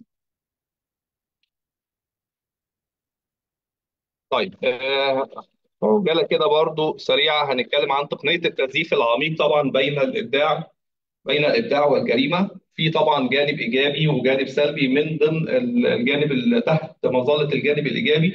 آه، بيستخدم التزييف العميق في مجالات الإبداع مثل تحسين الأفلام مثل الأفلام الوثائقية تطوير المحتوى التعليمي بيستخدم في الإعلام. الجانب السلبي طبعا بيتم استخدامه في تشويه آه، سمعة الأفراد في عمليات الابتزاز في سرقة البيانات وتهديد أمن الدول والنزاعات وإشعال النزاعات والانقسامات الداخلية داخل الدول. طيب أسباب انتشار التزييف العميق طبعا في أنا سردت مجموعة من ال- من الأسباب جمعتهم في ثلاث عناصر ألا وهي سهولة الوصول للأدوات التقنية العديد مننا بيقدر يدخل على مواقع التواصل الاجتماعي المو- التطبيقات المتخصصة من خلال مواقع التواصل الاجتماعي في سهوله ويسر النهارده إن أنا أدخل أعمل ديب فيك لأي شخص دلوقتي لرئيس المؤتمر مثلا دلوقتي وهو بيقول إن المؤتمر ده ممكن يكون مثلا مؤتمر مش ناجح أو التخصص بتاعه مش مناسب فأكيد ده طبعا هيضر سمعة المؤتمر. الناس دلوقتي اللي موجودين مثلا في بلد تاني هيقولوا لا ده كده هو ده بيرمي مثلا يعني أكيد 50% هيوافق على الكلام ده وفي 50% مش هيصدقوا. طيب التكلفة المنخفضة لإنشاء المحتوى المزيف النهارده معظمنا التطبيقات دي مجانية. على الأقل معظم التطبيقات دي بتسمح ب... ب... مثلا بمرة أو مرتين ثلاث تجارب على الموقع ال deepfake بقدر إن أنا أستخدمه free طيب ثالث حاجة صعوبة كشف التزييف العميق بسبب التطور المستمر في في, في تقنيات الذكاء الاصطناعي. دي من ضمن برضو الجوانب السلبية. إن أنا مش كل محتوى أقدر إن أنا أكتشفه. طبعا في العديد من الجهات اللي بتقول إن في مواقع بتقدر تكشف بسهولة عن ال deepfake. معظم المواقع دي هي للأسف بتتجه أو بتعتمد على ال- التوجيه العكسي أو إن هي تقدر تعرف بجزء بجانب بسيط جدا إذا كان الفيديو اللي معمول مثلا لرئيس الدولة لو أنا دلوقتي رئيس دولة دلوقتي ممكن أعمل deepfake مثلا زي هنروح بعيد ليه؟ زي ال- الفيديو اللي اتعمل لزيلينسكي طبعا رئيس أوكرانيا إن هو كان بيؤمر مجموعة من الجنود فيديو ديب فيك اتعمل له بيؤمر مجموعة من الجنود في منطقة معينة إن هم يتراجعوا عن المنطقة دي. طبعا الفيديو ما كانش زيلينسكي خالص وكان معمول من طبعا من قبل قوات روسيا. فيعني ال- ال- التخصص ده فإن هو كمان يوصل للعمليات العسكرية وإن هو يدي أوامر عسكرية. لما أنا دلوقتي لما الجنود في منطقة معينة ويشوفوا وهم في منطقة منطقة نزاع عسكري ويشوفوا فيديو معمول بالديب فيك رئيس الدولة بتاعي وهو بيدي أوامر إن إحنا خلاص إحنا مش هنقدر نكمل في المنطقة دي. ارجعوا تاني بشكل غير مباشر. فده بيبين قد إيه مدى أهمية الديب فيك سواء في النزاعات العسكرية أو في الانقسامات الداخلية. أو في استخدامه في الانتخابات بص- بصفة عامة. طيب تعميق الانقسامات الاجتماعية طبعا بتعتبر الانقسامات الاجتماعية في المجتمع خصوصا المتعلقه بالهويه والانتماءات السياسية أرض خصبة جدا للتزييف العميق. طبعا أنا دلوقتي لو أنا برضه هقول لو أنا مرشح سياسي أو أنا مرشح سين أو صاد أو أنا تبع مؤسسة مثلا بستهدف مؤسسة بلاش اقتصادية ولا ولا عسكرية بستهدف مؤسسة عفوا اقتصادية مثلا وعايز أستهدف ال- ال- الجهة الثانية أو أنا عاوز دلوقتي إن أنا أحد من الاستثمارات أو عايز أحد مثلا عايز أستهدف ال- الاسهم الخاصة بالشركة دي. أنا هنا من خلال الديب فيك بقدر إن أنا بستهدف الجهة دي. طب يمكن استخدام التزييف العميق كأداة خطيرة كمان تهدد الأمن الأمن القومي. وده طبعا إحنا شايفينه دلوقتي في العديد من النزاعات العسكرية في العديد من الدول. بالإضافة طبعا لتعريض السلامة العامة للخطر وتعطيل العلاقات الدولية. طيب مسألة العلاقات الدولية أنا شايف إن هي من أهم مخاطر بعيدا بقى عن ال- العلاقات النزاعات العسكرية أو الانقسامات الداخلية. العلاقات الدولية أعتقد إنها أكتر مجال أو أكتر تخصص بيتأثر بال- بالديب فيك أو التزييف العميق. ده ليه؟ لأن إحنا دلوقتي العديد معظم البلاد كل كل معظم الدول بتعتمد في التجارة وفي السياسة أو في التعاملات العسكرية في المقام الأول على العلاقات الدولية. أنا دلوقتي من خلال عفوا حاضر طيب. من خلال برضه فيديو دي فيك بقدر إن أنا بأثر على علاقات دولة سين مع صاد طيب طيب أنا كده بحاول طيب. طيب آه زي ما اتكلمنا إن برضو آه في احتيال مالي مثلا تم على تم على شركة ما. أو على بنك مثلا تم تحويل من خلال استغلال التزييف العميق تم تحويل مبلغ مهول مبلغ مالي يساوي مثلا 242 آه، آه، مليون دولار تم تحويلهم من خلال التزييف العميق. جرائم ضد الدول طبعا تم نشر فيديوهات طبعا سياسية مزيفة. مثل فيديو مثلا اللي إحنا اتكلمنا فيه آه، بتاع الرئيس الأوكراني استهداف الانتخابات. طيب سريعا في آخر جزئية تشريعات مكافحة التزييف العميق. في البرازيل المحكمة الانتخابية العليا آه، حظرت استخدام التزييف العميق في ادعاءات الانتخابات دون ترخيص. لازم إن أنا برجع للمحكمة عشان آخد إذن بده. في الولايات المتحدة مجلس الشيوخ اقترح قوانين بتشمل قوانين إعداد مسؤولي مسؤولين عن الانتخابات المتعلقة اللي بيتم استخدام فيها الذكاء الاصطناعي. آه، تم إصدار قانون شفافية الذكاء الاصطناعي في الانتخابات. آه، تم آه، تدشين قانون آه، حماية الانتخابات من الذكاء الاصطناعي الخادم الخادع. آه، هذه القوانين تستهدف إلى تعزيز الشفافيه والتصدي لاستخدام الذكاء الاصطناعي طبعا لنشر المعلومات المضللة خاصة مع تزايد حالات التزييف العميقة اللي حصلت في الانتخابات الأمريكية. طيب آه، حاجة أخيرة بس مجموعة من التوصيات. هجملهم في تسع نقاط. آه، تجريم جميع أشكال التزييف العميق آه، وتحديد عقوبات صارمة بهذا الشأن. تعزيز التعاون الدولي في مجال تكنولوجيا المعلومات تبادل الخبرات بين الدول لتطوير حلول قانونية وتقنية مشتركة تطوير تقنيات الكشف عن التزييف العميق دعم الأبحاث في مجال الذكاء الاصطناعي إنشاء وحدات أمنية متخصصة تشكيل فرق تقنية متخصصة للتعامل مع جرائم التزييف العميق وأخيرا إطلاق حملات حملات وطنية لتعريف المجتمع بمخاطر التقنية وكيفية الحماية. وأخيرا وليس اخر شاكر جدا لاستماع حضراتكم. شكرا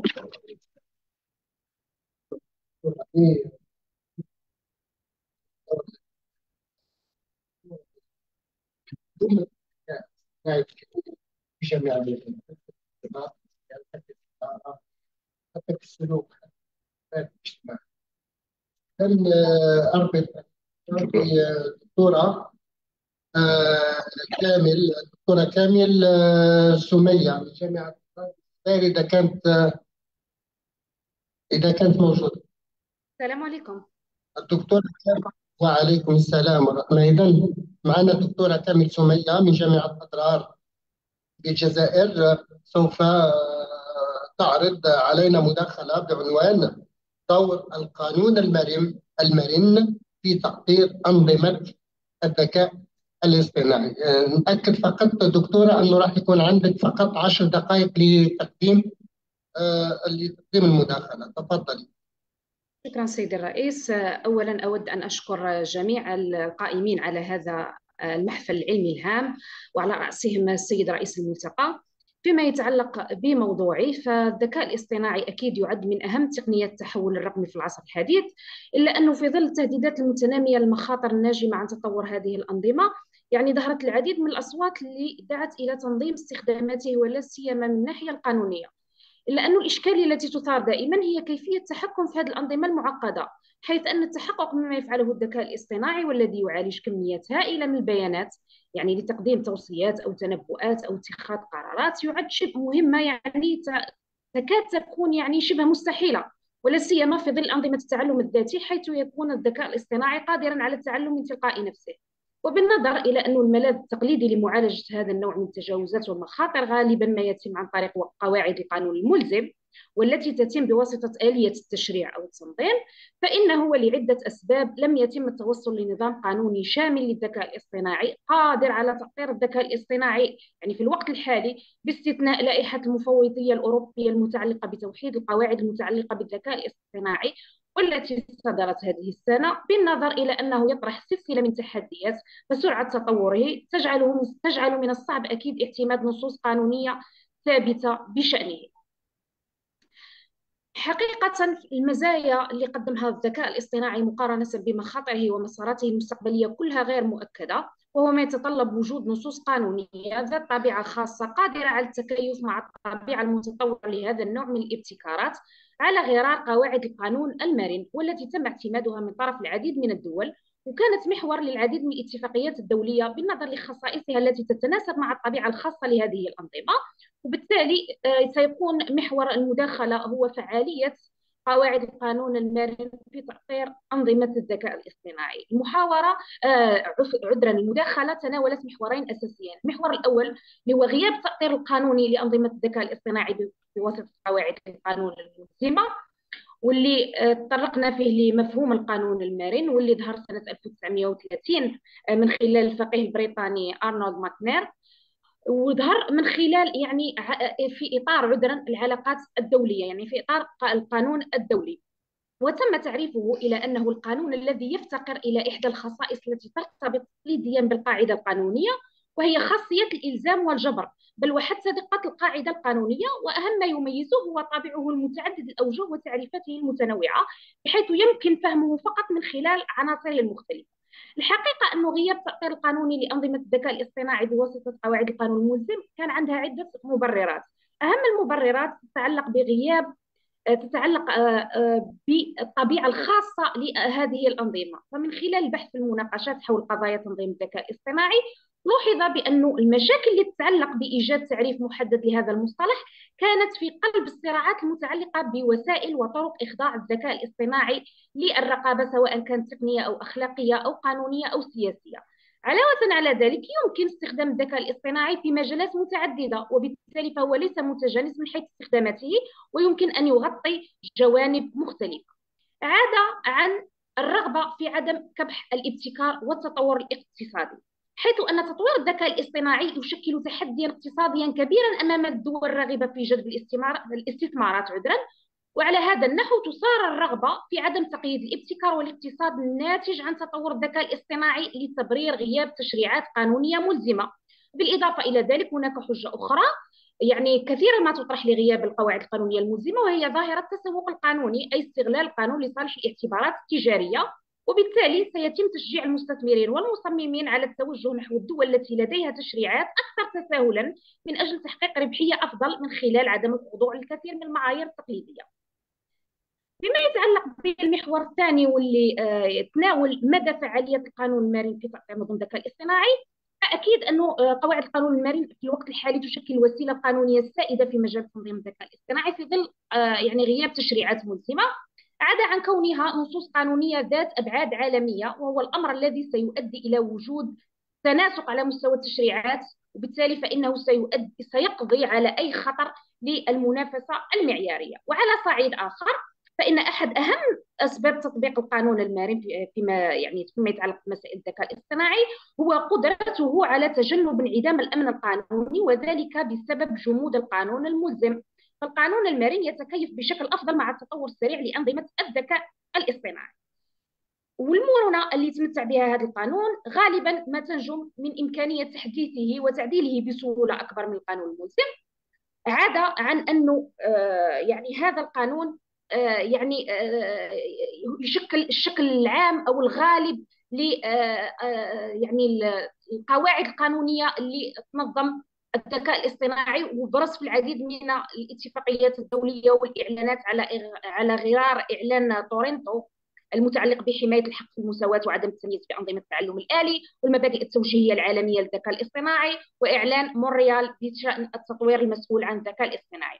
ولكن على الرغم يعني من كل المزايا اللي يتمتع بها القانون المرن إلا أن هنالك إلا أنه يعتبر حقيقة محدود من حيث الفعالية هذه المحدودية جات اولا من خلال طبيعته غير الملزمه والمحدودية أيضا جات أيضا عن طريق تباين آه، يعني المصادر اللي آه، يعني تخص هذا القانون وأيضا يعني كثرة وتعدد وازدياد الأشخاص أو الهيئات التي تقوم بإصدار القواعد القانونية الخاصة بالقانون المرن. وهو ما يخلق التكتف آه، المعياري واللي آه، يعني هي مشاهد بها لظاهرة التضخم التشريعي ضمن القانون الملزم بالنسبة للتوصيات الحقيقة كان هناك مجموعة من التوصيات.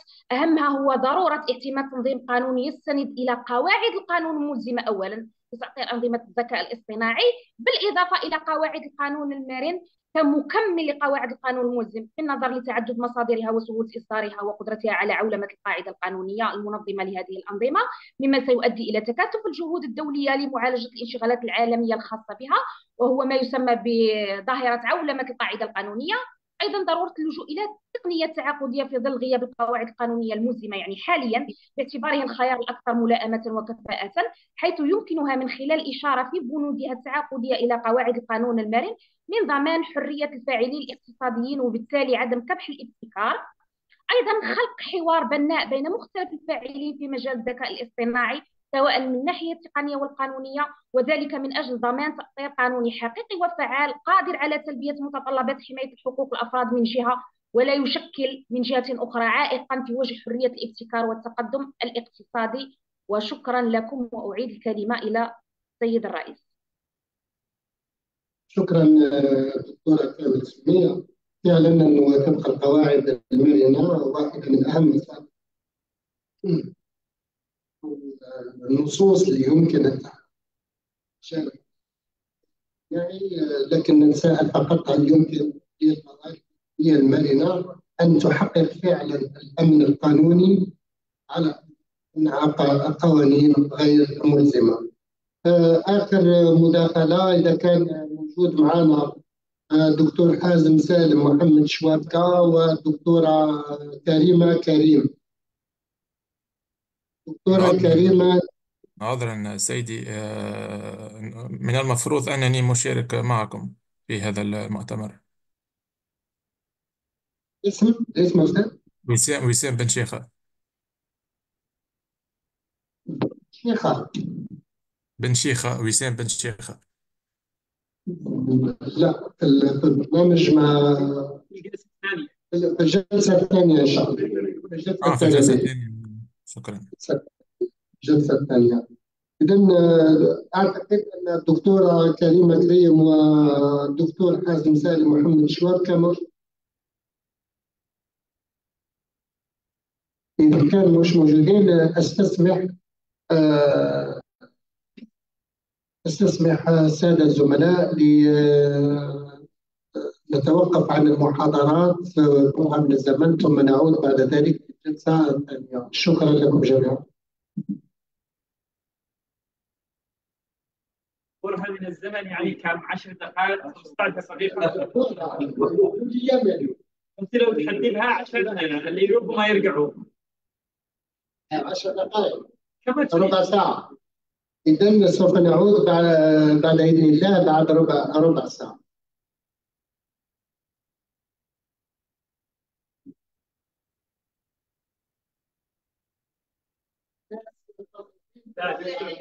قصدي لأنه البعض سيذهب وما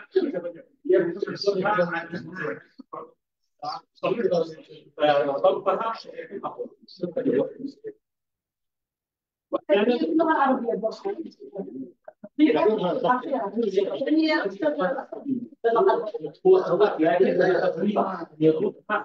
كل واحد صار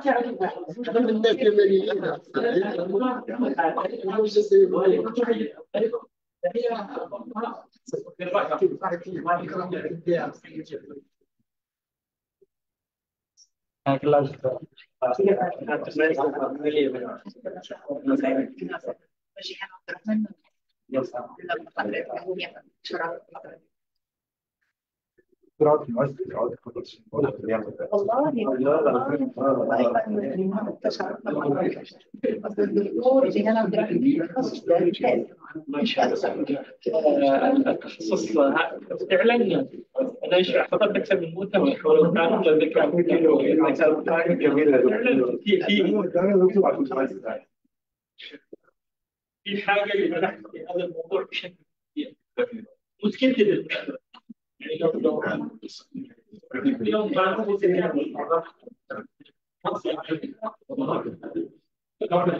ألو ألو ألو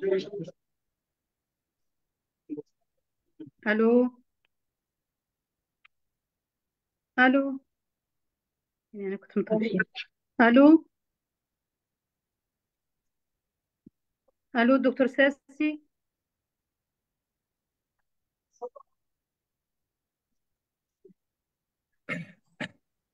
السلام عليكم.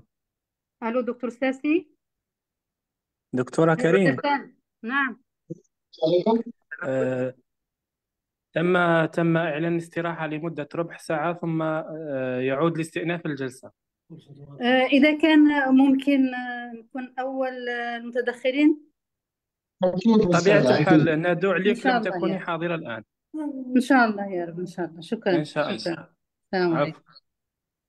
السلام عليكم. السلام عليكم.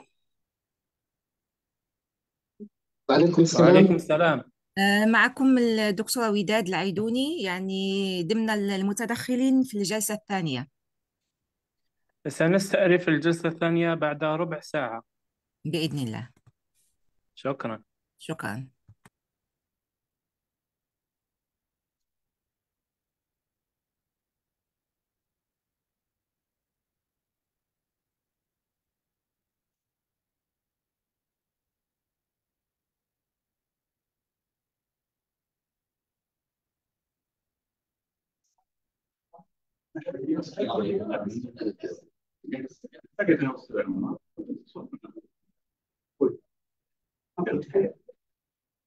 ما في شيء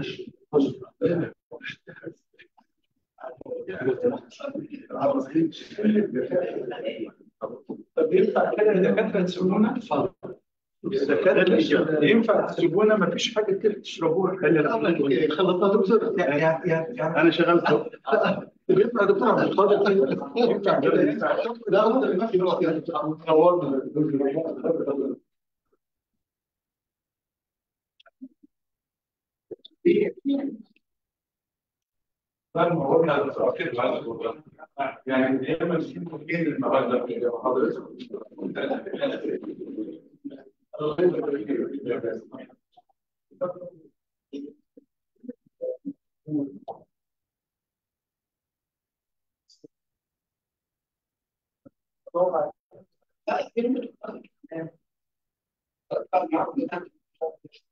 حضرتك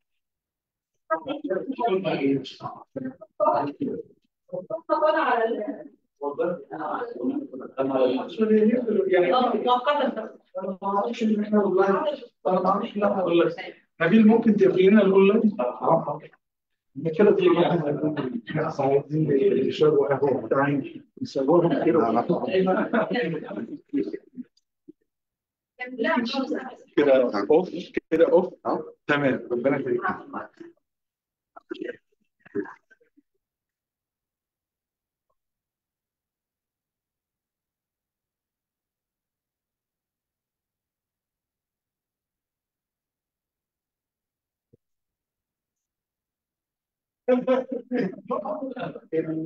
أيوه خلاص كتبناه ماشي كتبناه شلنا خلاص. الصوت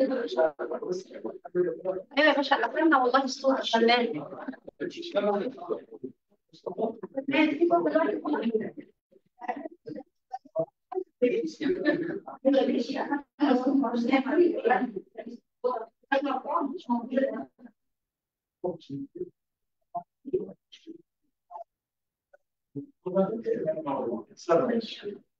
انت ممكن تقوم تاخد معانا لا لا قوم.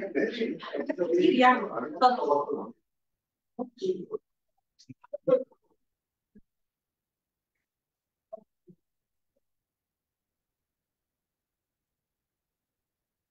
فرض على الله كما سيقول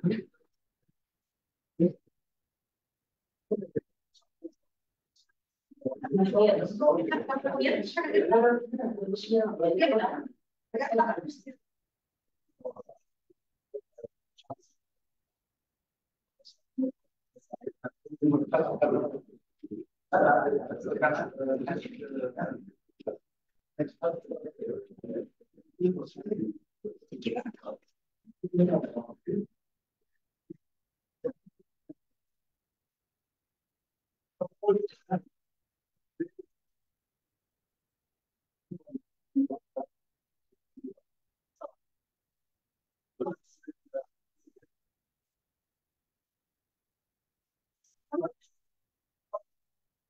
you look at what's happening.